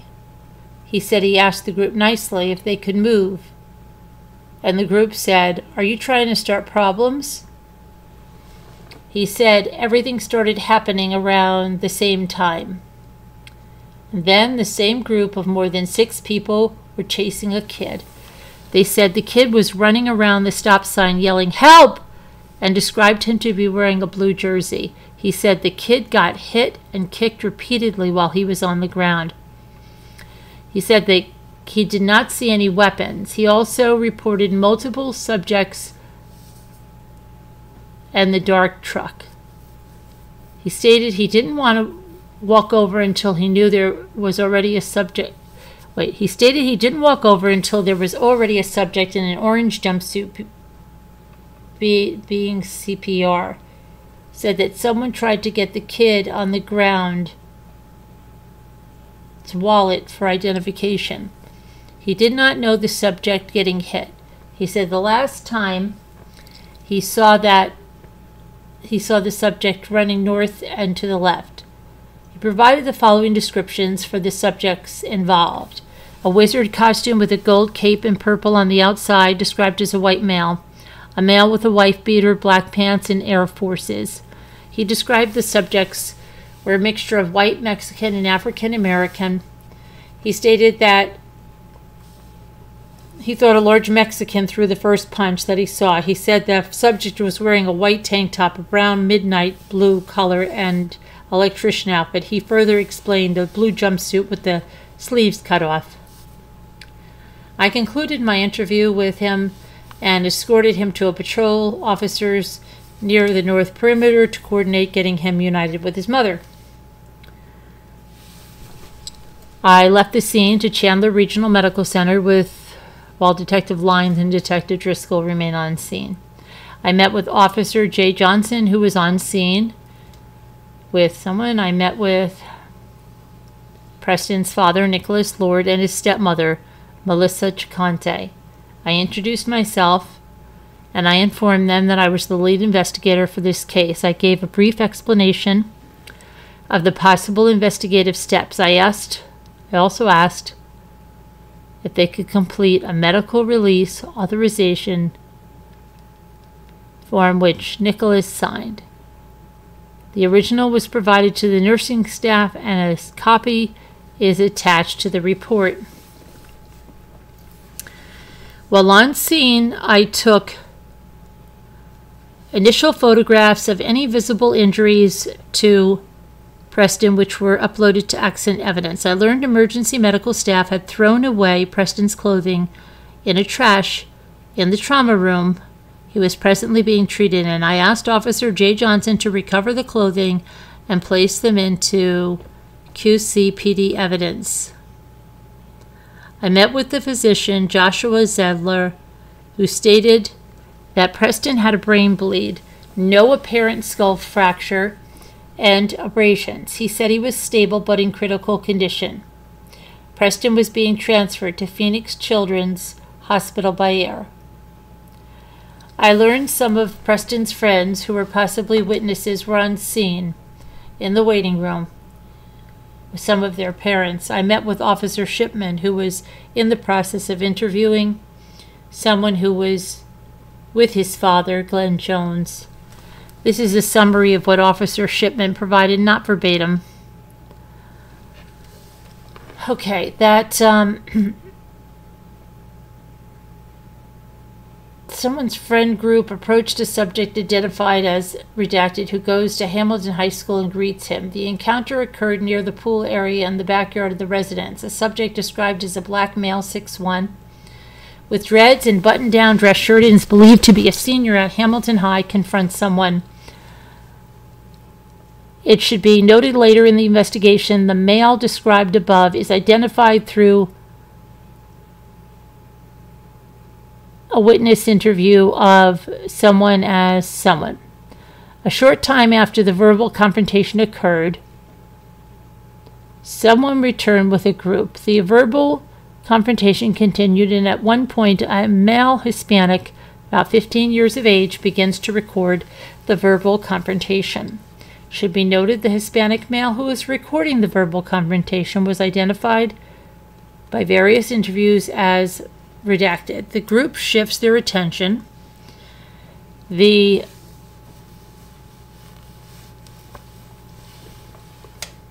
shifts their attention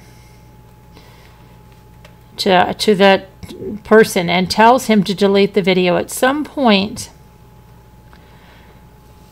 that person's friend group, which included Preston and someone else, leave the residence. As they are walking, the group follows them. At some point, a subject yanks someone's chain. A large group of about 10 to 15 kids chased and they ran and watched from the corner house. They saw the group throwing punches and kicks to Preston while Preston was on the ground. According to the witness, he no longer had seen something and was able to provide a description. One subject as Hispanic Indian male in a black ski mask and backpack. With the group standing over Preston, I ended my debrief with Officer Shipman and went on to assist with interviewing the juveniles at the hospital. Interview with Adam Graham, father to somebody and somebody. I met with Adam Graham, who's a parent to someone's and someone's group. He provided the information he had gathered from his son. I asked to speak to his son. The following is a paraphrased summary of what he told. Son and his friends went to a party. When they arrived at the party, they said hi to a friend. A subject approached a person and was mad about someone talking trash. He was described as a black male wearing a white tank top with a black tie over it. And described the male that approached as a male, black male in a black dress shirt with a beanie dress shoes. He said he possibly goes by redacted because he heard someone say his name. It should be noted through interviews that he was identified as redacted. And he keeps trying to say he wants to fight, but he doesn't want to and leaves the party. And said a circle had formed around him, and as they talked trash to each other, at some point, they leave the circle. At this point. one is recording, and a subject that is believed to be with the group tells that person to delete the recording. They delete the recording, and his group, to which includes leaves through the gate. A group of about 20 plus subjects follow them out. At some point, someone's chain is pulled off and knocked his hat off and said he got hit, causing him to stumble, but didn't know who hit him. Said people started putting up their fists to fight and they ran off.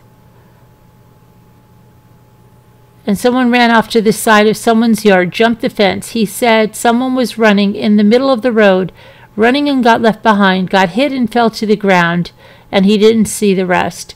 He said he was sent a photograph of a subject and said he was the one that hit the photograph was a still shot of what he believed to be an Instagram profile for Talon Vigil.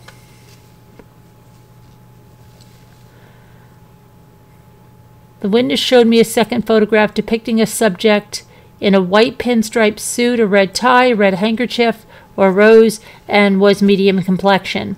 And he said the subject was the one that pulled the chain and threw the first punch. It should be noted through the investigation interviews that the subject was later identified to be Treston Billey. Okay, and then someone stated a female named, someone was the one that provided the screenshots described in the latter. I confirmed with someone that they arrived at the party in someone's truck, and I wasn't sure if they had their cell phone during the incident or how it ended up inside the truck. I provided my contact information and ended my contact.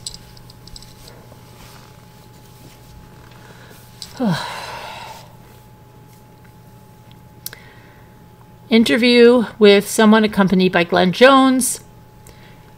This kid went to the party with his friend group, which included someone, and upon arrival of the party, they said hi to a friend named something. They went while they were talking to someone, another male described to match that of someone started talking crap to someone else, describing Description of the male who went up to the person was a black male, six one, all black, black button up, black dress shoes, black dreads.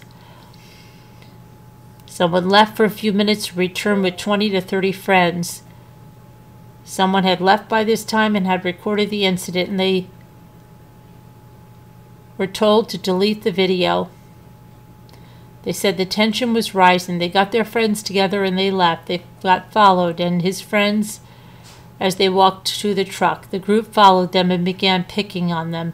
One subject took his chain and his hat and said he didn't see who it was because he was trying to get to safety. He believes that he jumped and didn't see that. However, he did recall seeing the subject hit in the back of the head and described the subject as wearing a hat, a purple sweater, and gray sweats said that about six or seven subjects ran after him and he ran off.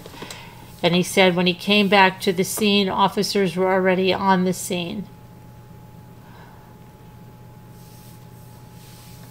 They had received the same photograph shown by someone. He identified one of the photographs shown by him as Talon Vigil. However, he made the mistake and did not identify Talon Vigil. Clarified he had seen a subject in a white tux with a red on his chest. He described as his own attire as follows black shorts, yellow, and Nike dunks. Devin Booker's jersey later took it off and had a black and white beater. I concluded my interview. I arrived at PCH, Phoenix Children's Hospital, and hospital staff were in the process of conducting scans on Preston. I met with Preston's mother, Autumn Lord. I introduced myself and spoke to her briefly, updating her on what could be provided reference the investigation. I also met with PCHMD Molitor, who provided me a brief update on Preston. I was informed that Preston was still completely unresponsive, and the CT scan showed a lot of swelling to the brain. They were attempting to keep Preston's vitals stable. I stood by while the neurosurgeon spoke to the family, gathered the following. There were signs of a stroke. He explained that Preston had lost blood flow to the brain due to the swelling, and there was a possibility the medication given to him early on had assisted with the swelling and returned blood flow. However, the damage to the brain had already been sustained. He stated the neurological exam is showing no activity. He explained medications and machines were keeping his heart pumping. Information was also provided that a scan had showed some abnormalities in the blood vessels of the brain. It was unknown if there was a something that might have triggered that might have been triggered by the jarring from the assault. I was informed the likelihood of Preston's survival was not probable. I had a medical release form completed and provided to staff.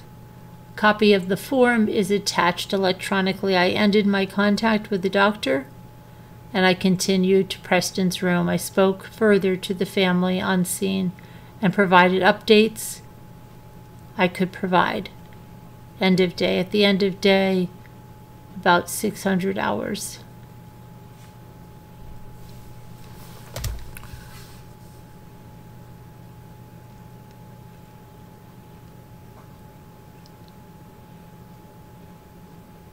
Christopher Anderson. On 1028 at approximately 2149, I was dispatched with my officers in training to a report of an assault. Upon our arrival, I observed over 20 cars leaving the neighborhood with young high school aged occupants. Other QCPD officers had already arrived, and I observed a white male on the ground on the street in front of 19403 East Via del Rancho. The white male was unconscious, and Officer Rodriguez and another officer were kneeling over the male performing CPR. Other officers were already interviewing witnesses in front of their home. I observed my trainee, Officer A. Hernandez, interview special witnesses. For a full account of these interviews, refer to the supplemental report. His. At approximately 2228 hours, we transported the witness to the Queen Creek Public Safety Building for a voluntary interview. Upon our arrival, I was tasked by Detective Sergeant Jost to interview. The person called his mother, Andrea DeBoss, on a video call, and I verified with her that I could interview her son with her on the line.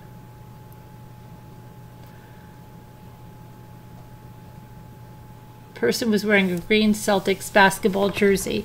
The person was initially very distraught during our contact with him and was crying when he was on the phone with his mother, telling her what had happened. I set up an interview room inside the public safety building, and Officer A. Fernandez logged into and activated the room's camera for the interview. The person confirmed his name and contact information, said he was a senior at Combs High School in Santan Valley. He said he was with nine other people he went to school with. Um, he said that he was on the Combs High School basketball team with several of his friends, including someone. He said that he and the nine others were in something blue truck driving into Queen Creek when they decided to go to the party that had been advertised on Snapchat.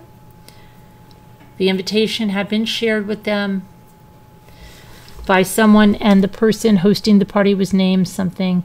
The party was advertised as bring your own alcohol, weed, and to respect the house.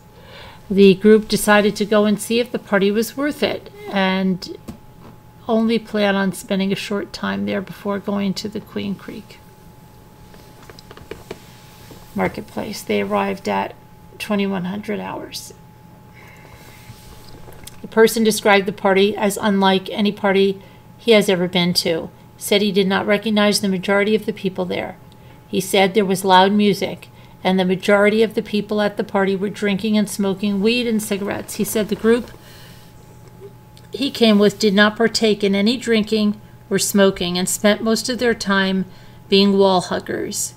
He heard from another party goers that the police had apparently responded earlier in the evening to the altercations, that they had not shut down the party.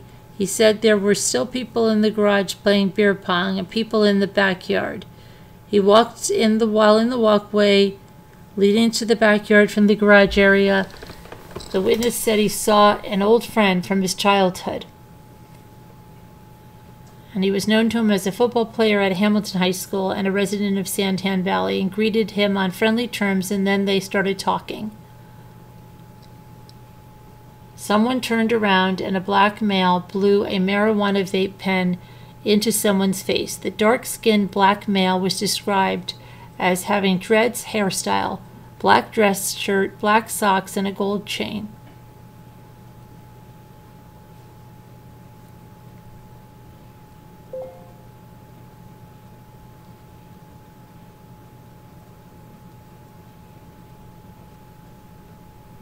Someone quoted the black male saying to the person, I'm not going to sneak you because I have respect for you, but you're going to have to dance with me. Someone indicated he was not going to fight and later mentioned to the person that he was believed he was going to be jumped since he had heard that the black male had been looking for him all day.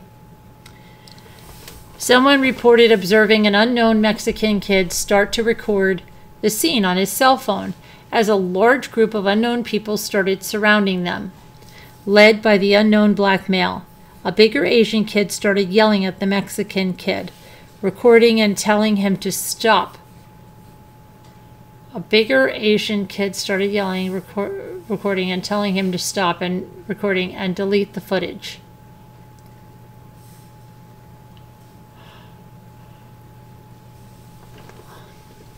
Someone described himself trying to de escalate the situation by also telling the Mexican to stop recording and delete the video, which he apparently did.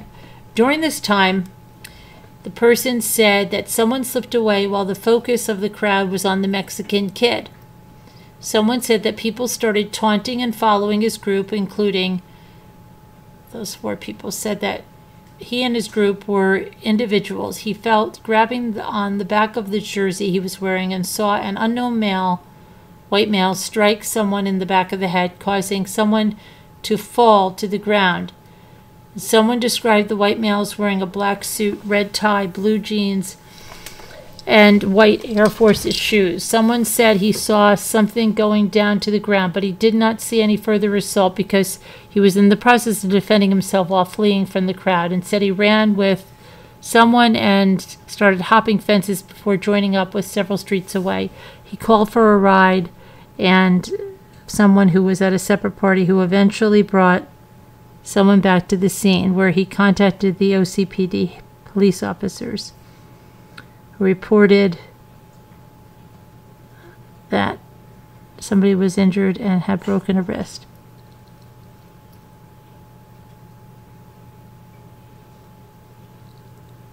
Someone described some of the hostile crowd. He described one as an Arabic wearing a furry ski mask. Others were wearing suits and mostly were tall and strange look, strong looking.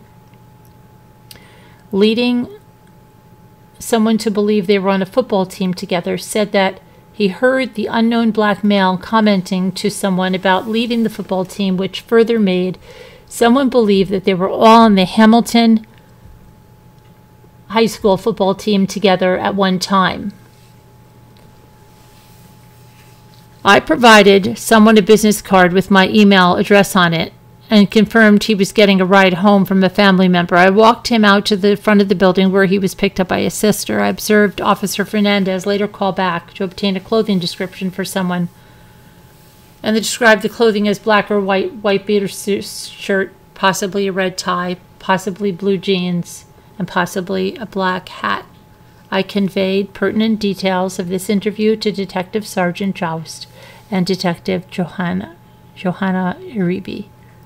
This concludes my involvement in this case.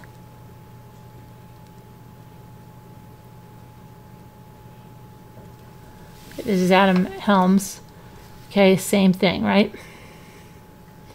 I was dispatched. Call notes indicated there was one juvenile unconscious and unresponsive, and there was another juvenile who had a potential broken wrist. While en route, Officer Rodriguez and Officer Aranda advised that they were doing compressions on a juvenile who was not responsible, responsive. Upon arrival, I observed approximately 50 cars leaving the area and juveniles running away from the area wearing costumes.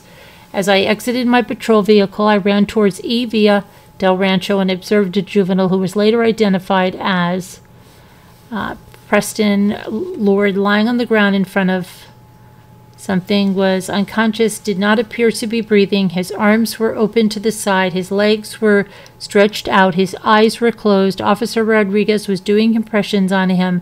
I then observed a large group of juveniles standing around Officer Coda asking me to begin interviews uh, interviewing the juveniles.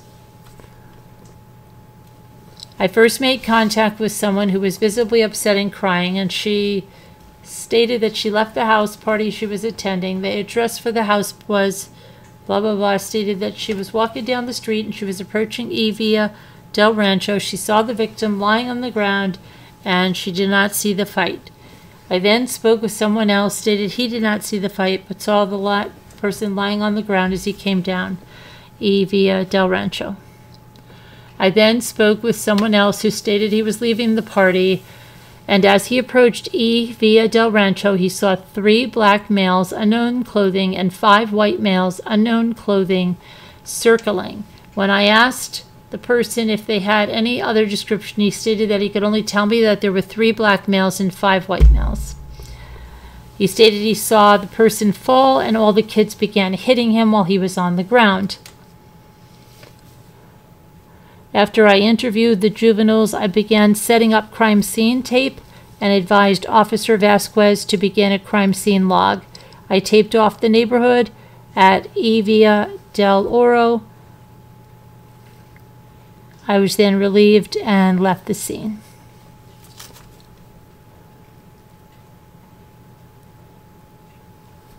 This is by Erica Vasquez. On October 28th, at approximately 2149, I responded to um, that area in regards to an assault while I was en route to the call. Dispatch notes indicated the responding reporting party was calling Queen Creek Police to report his friend was assaulted and needing medical attention. Dispatch notes indicated that they were advised to dispatch that there were two victims. One of the victims had a broken wrist while the other one was unconscious. Dispatch advised 2153 hours. CPR was in progress for the unconscious victim while I was still en route to the call. Dispatch noted in the call that there were immediately approximately 15 suspects who were wearing masks. Fire was en route to the dispatch location as someone was continuing CPR on the victim.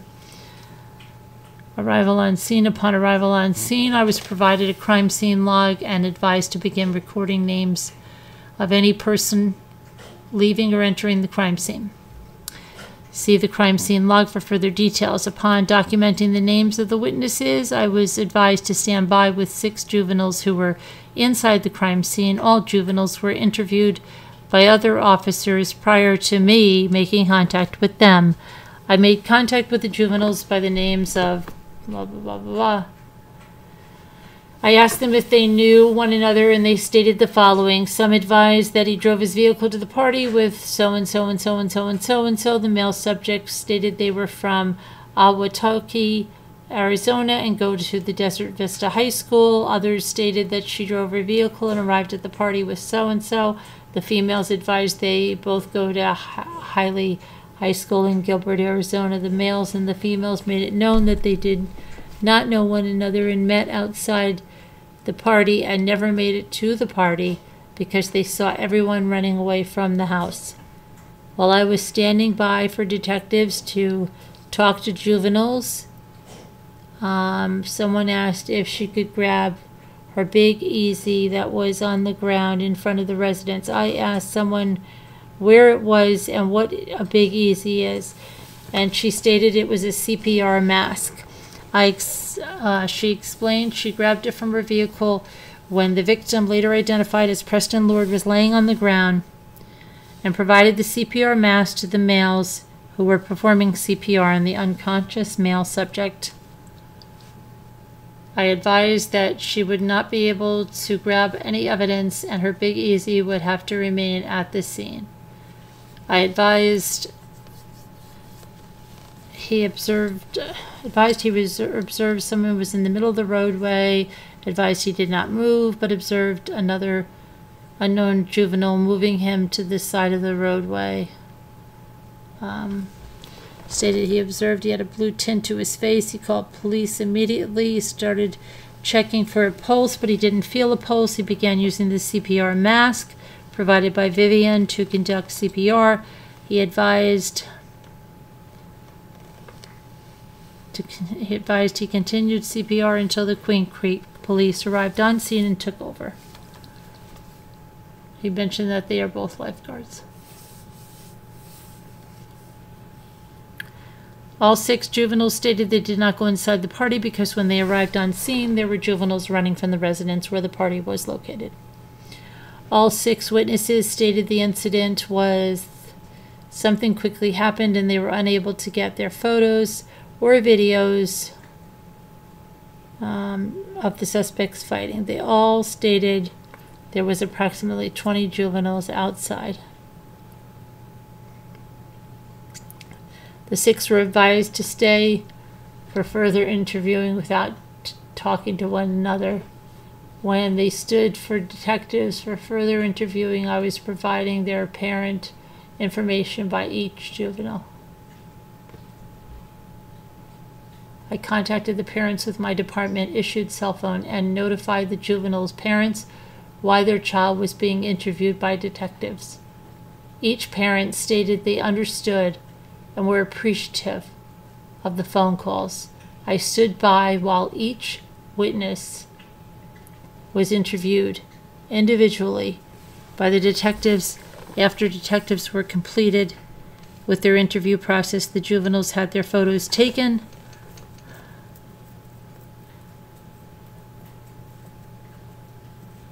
my goodness.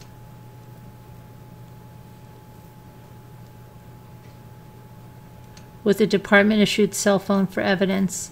After completion of the photos, all six witnesses were escorted outside the crime area.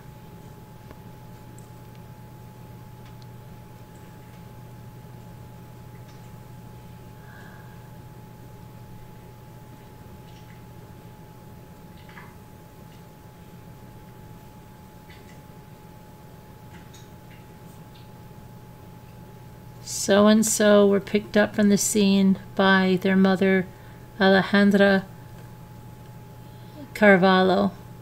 The mother was notified she was being picked up by the mother. The four male witnesses were picked up by somebody's mother, Julie Sorek, and parents were notified that they were being picked up by Julie. After the juveniles were picked up, I was assigned with assisting the detectives with a warrant for the residence.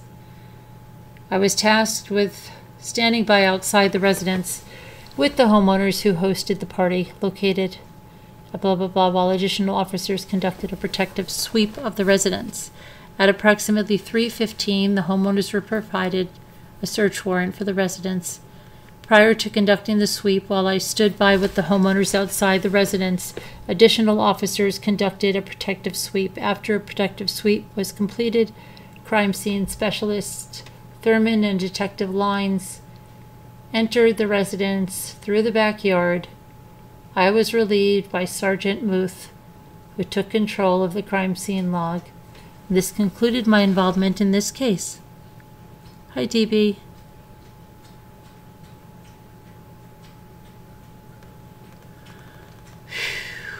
Did we make it to 100 yet? Oh my gosh, we have eight more. Okay, this is another one. Jose Garcia. I responded with my fully marked Queen Creek Patrol Tahoe with emergency lights and sirens activities due to the victim having life saving efforts being done to them. It is noted that my Axon body worn camera was activated.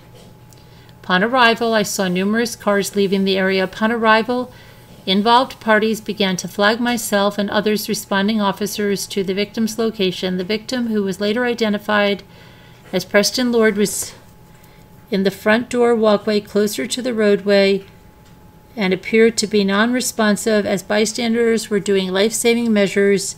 Prior to police arrival, Officer Rodriguez began doing life saving measures on Preston. I began to separate the crowd from the immediate area and told them to back away from this scene where the victim was having life saving measures being done on him. As more officers arrived, I was able to conduct interviews with the following subjects. I spoke to witnesses, bystanders, who stated the following. They stated that he and his friend heard of a party taking place.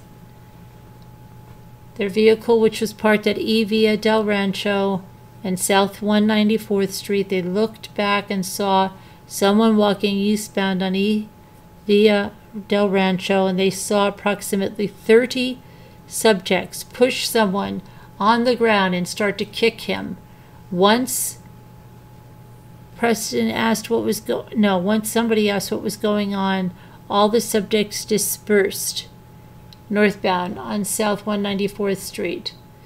Someone and someone dragged Preston out of the roadway after he was assaulted, while bystanders then began life saving measures.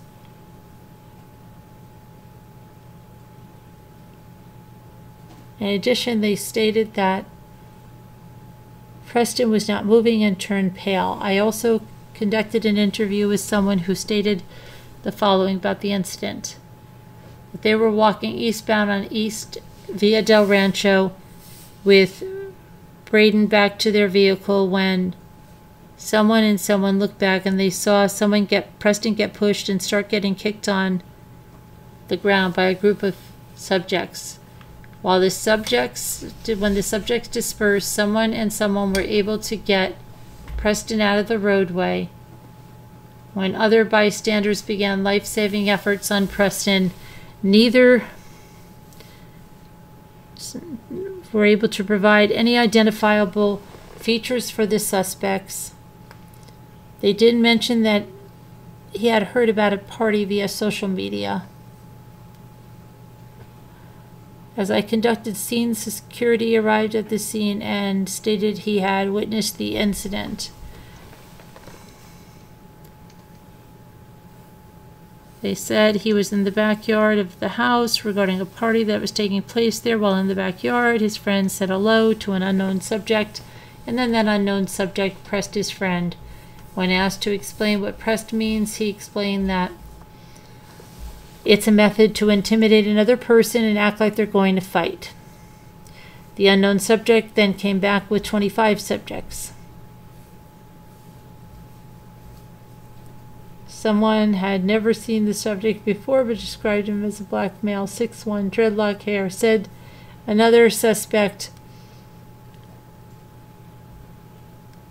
um, name something, had video of the incident. The S involved suspect made him delete the footage after it was filmed, and he was unable to provide any information for someone, only that he attends Queens Creek High School and is possibly a freshman and has no further information. Uh, you know what? I honestly hope that these officers know that that video that that he said he was deleted is completely recoverable in that phone. It's completely recoverable, and I hope that they recovered that video. Upon completing my interviews, I looked for surveillance footage at the following. Both addresses didn't have any video. Hi, Mr. Electric. Hi, Taco. Hi, everybody. Uh, both addresses did not have any video of the incident. In addition, a black shoe and an unknown black fabric were located at the address. Police supervisors were advised of the items located.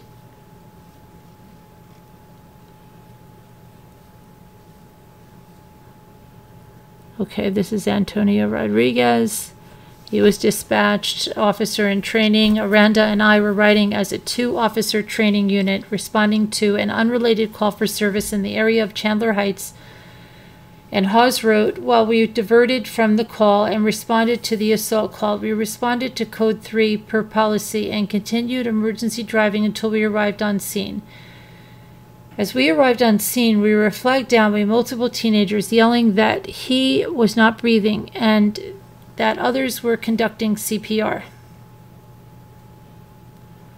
Officer Aranda and I ran to the area in front of something and observed Preston laying on the ground on his back. He appeared blue in color, was not responsive, had blood on his face.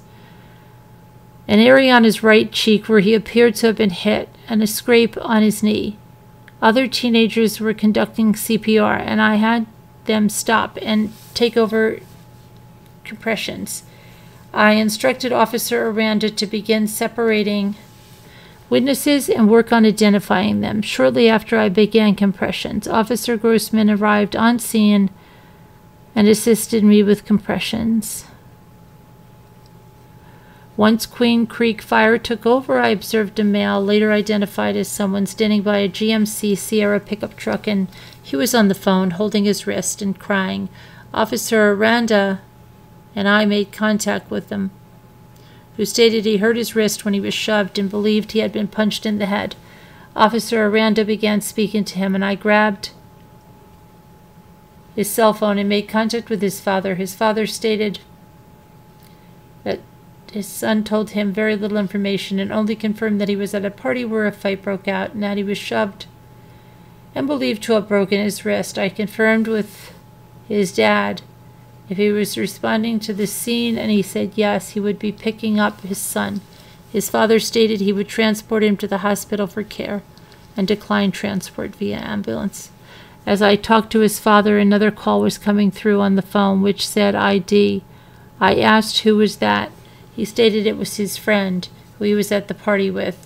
I answered the phone and made contact with the person who stated he was around the corner hiding after running away from the fight and would return to our location. We looked west through the empty dirt lot and observed a male walking through the lot. He was later identified as someone there who stated that he saw the entire thing and he told Officer Aranda that he observed when he got when Preston got punched and said he was punched from behind and fell down.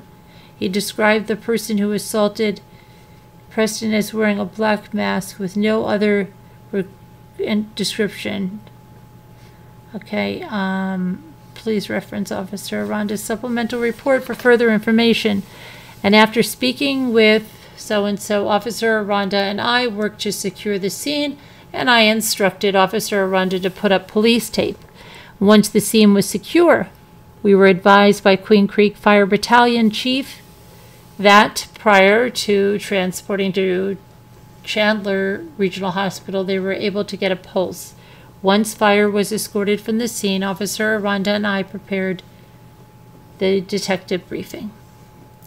The briefing summary was completed and the briefing to Detective Iribe, Iribe Detective Lines, and Sergeant Joyce was given by Officer Aranda and I. I stayed on scene with Officer Aranda while he was assigned to different tasks by detectives and Sergeant Jost. While on scene, I received a phone call from Officer Johnson, who was at Chandler Regional when the victims and his parents, and he advised me that the victims' parents were observed.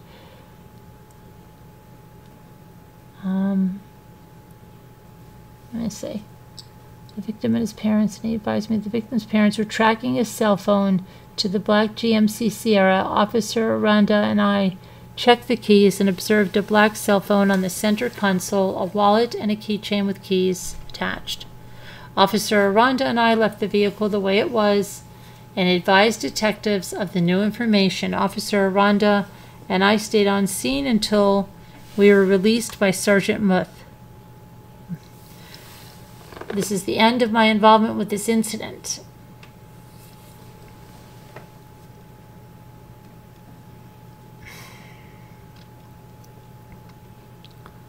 The residents, I contacted Officer Rodriguez and advised I would take over CPR, at which time we switched. And I began to perform CPR. I performed multiple rounds of CPR on the victim until the Queen Creek fire took over. and continued to give medical aid. During this time, assisting units spoke to multiple witnesses to the incident, which had advised there was a large house party located at something, and that is where both parties were involved in the fight had come from. Myself and assisting units attempted to contact the homeowners at the front door, but had negative contact. Officer Hanson advised he was able to contact the homeowners on the north side of the residence through a side door and advised them of the incident. See Officer Hansen's report for further details. Myself and Officer Hansen conducted a security check on the residence with the verbal consent of the homeowner who had walked us through his residence to ensure the scene was safe. It should be noted that one male who had exited the residence at as officers were contacting the homeowner were detained due to failure to identify. The male, Nicholas Galinci, later identified himself and was released with no charges and given a verbal warning. No additional police activity was taken, action was taken. See the report for further details. Okay, this is Evan Storch. On 10 28 23, I responded in reference to an assault. A juvenile male victim was reported to be unconscious, and another had a broken wrist. Officers arriving on scene reported that they located the unconscious male juvenile on scene, and they were not assigned tasks to assist with witness interviews.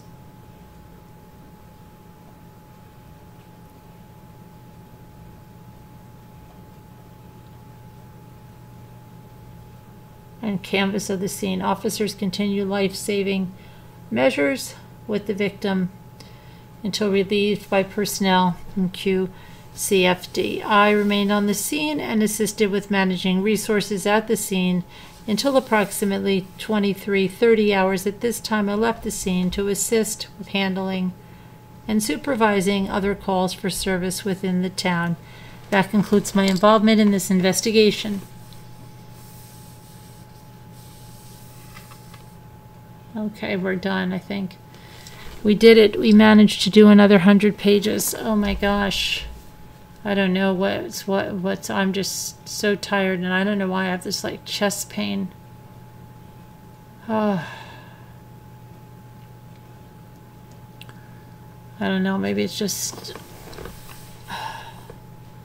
a lot of stress. Sounds like that's not my job mentality. Anyway, I think we're just going to do word cookies, then I'm going to go to bed. I don't even know what tomorrow's Tuesday. Okay. All right. Let me, um, let me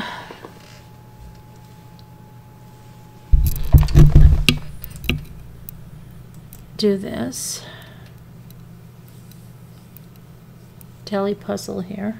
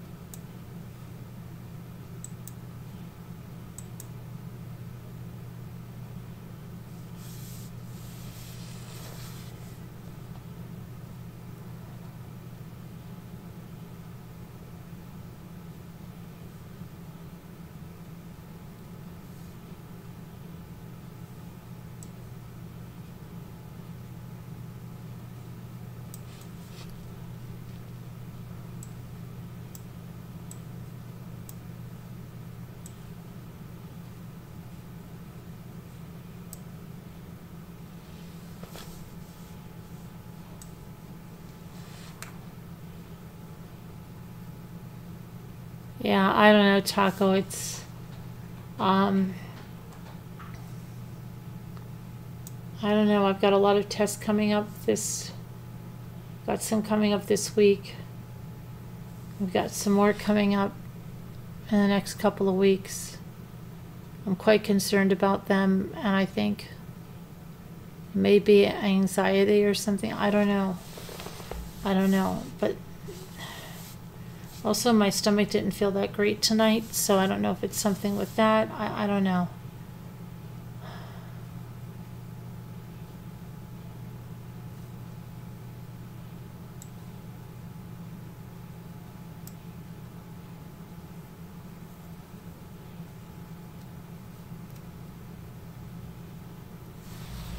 Just when I'm sitting here, I just have this pain right in the middle of my chest. Right in the middle.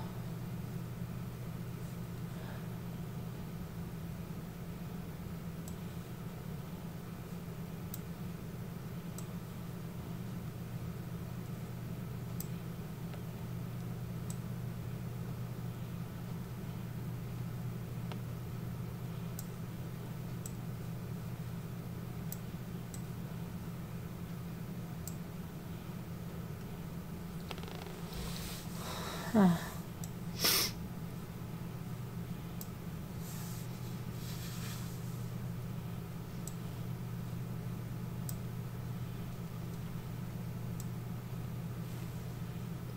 Maybe muscle strain. Yeah, I've been running around doing a lot of stuff too. Could very well be. Could very well be.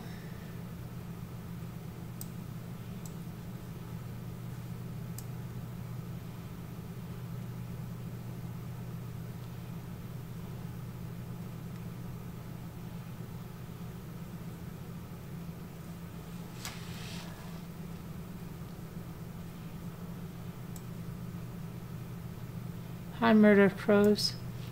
How are you? What do you have? You have J U D D E R S.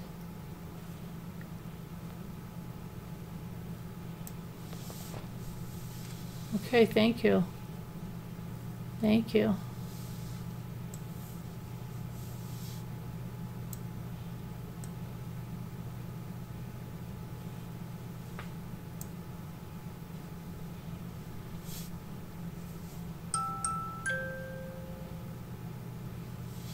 Isn't the Yeah, I'm just gonna rest. I, I have to go to the I have to have so many tests coming up and I've just had my like a lot of stuff um, done and I have other stuff coming up. It's just uh, there's a, there's a lot of stress with it, just a lot of anxiety with everything that I have and there's a lot of anxiety on um, just uh, other things, you know, other people going through stuff and just hopefully it's just stress because I've been having something else and so I'm just I'm just gonna go to bed. I'm just gonna go relax after this and that's it.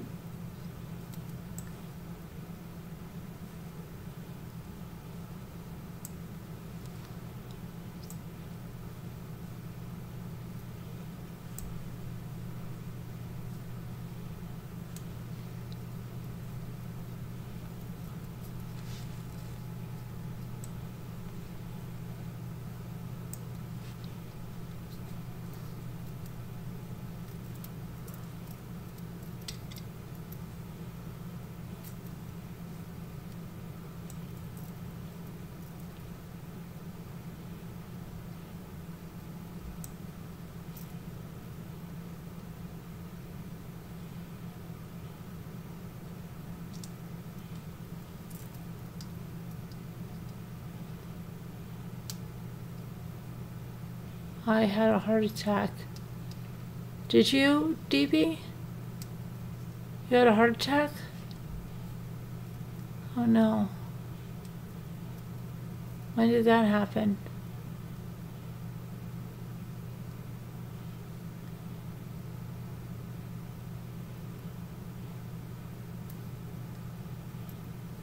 When did that happen, DB?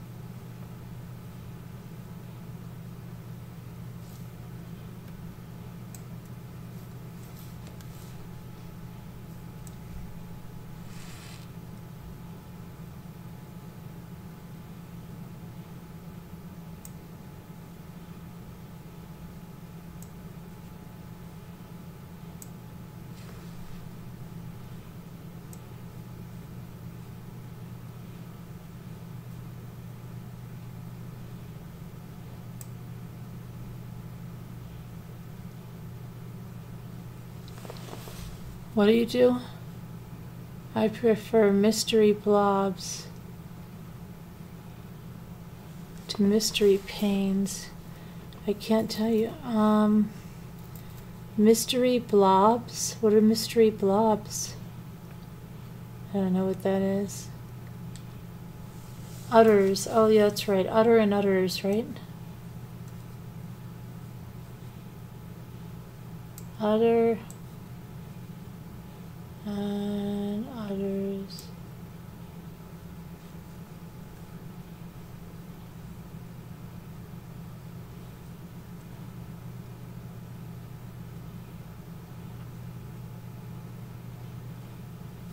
Oh my gosh.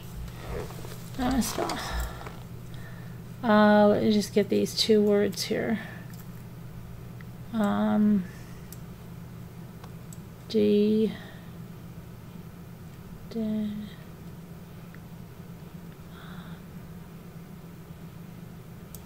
Oh, how about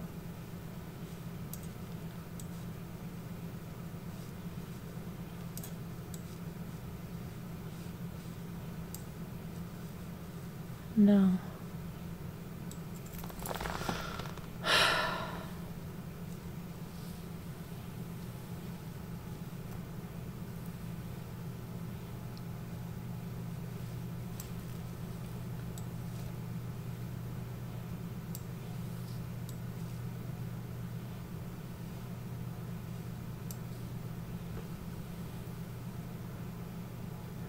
I tried, dude. It doesn't work.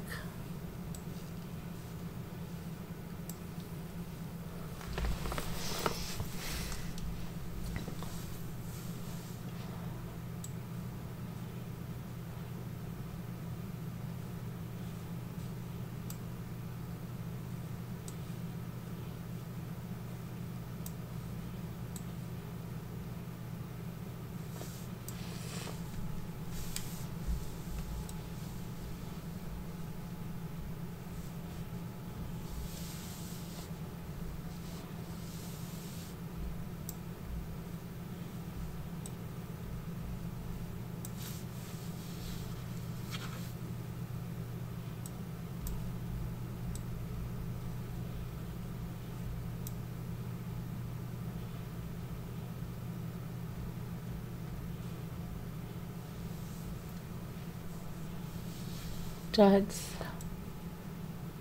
duds.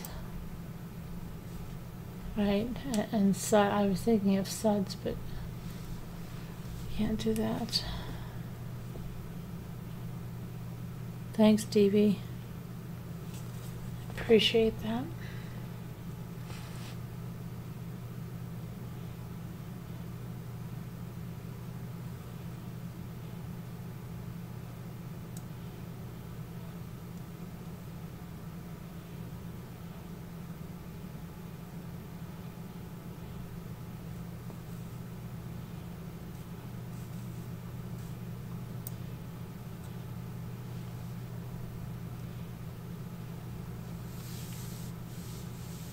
I did duds.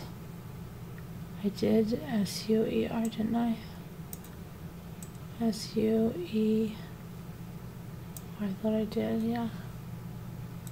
S U E.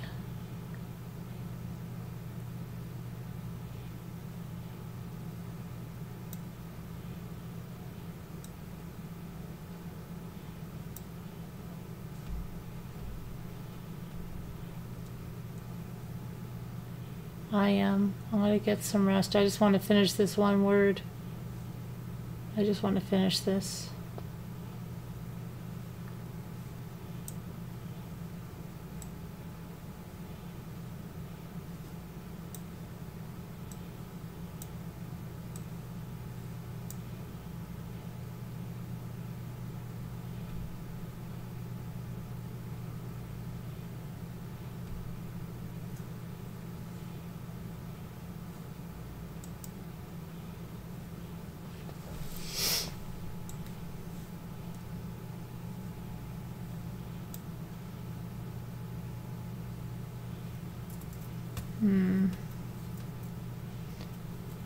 Okay, what do you think it is, huh?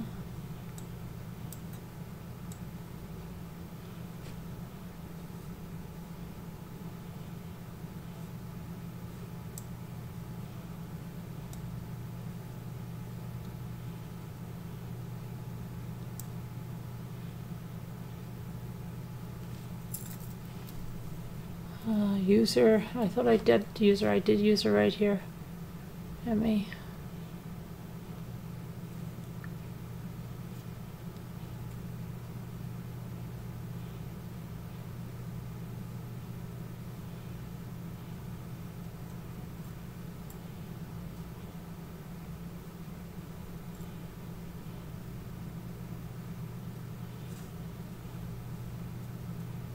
Okay, I'm gonna have to go. I'll have to finish this tomorrow. I just don't, I don't feel good. Okay, so I'm gonna go. But thank you for watching, guys. I'll see you tomorrow, God willing. Pray I will. Um, prayers for all that need them. I'll see you tomorrow. I just, I don't feel good. Something's hurting me really bad. All right. Um, so be good. I'll talk to you. I don't see where I can end this. I have to go to the other thing to end this. Here we are. Okay.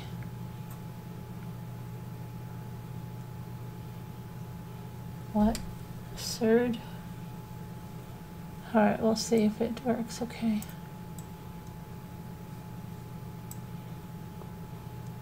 Okay. Alright, good night, everybody. Love you guys. God bless.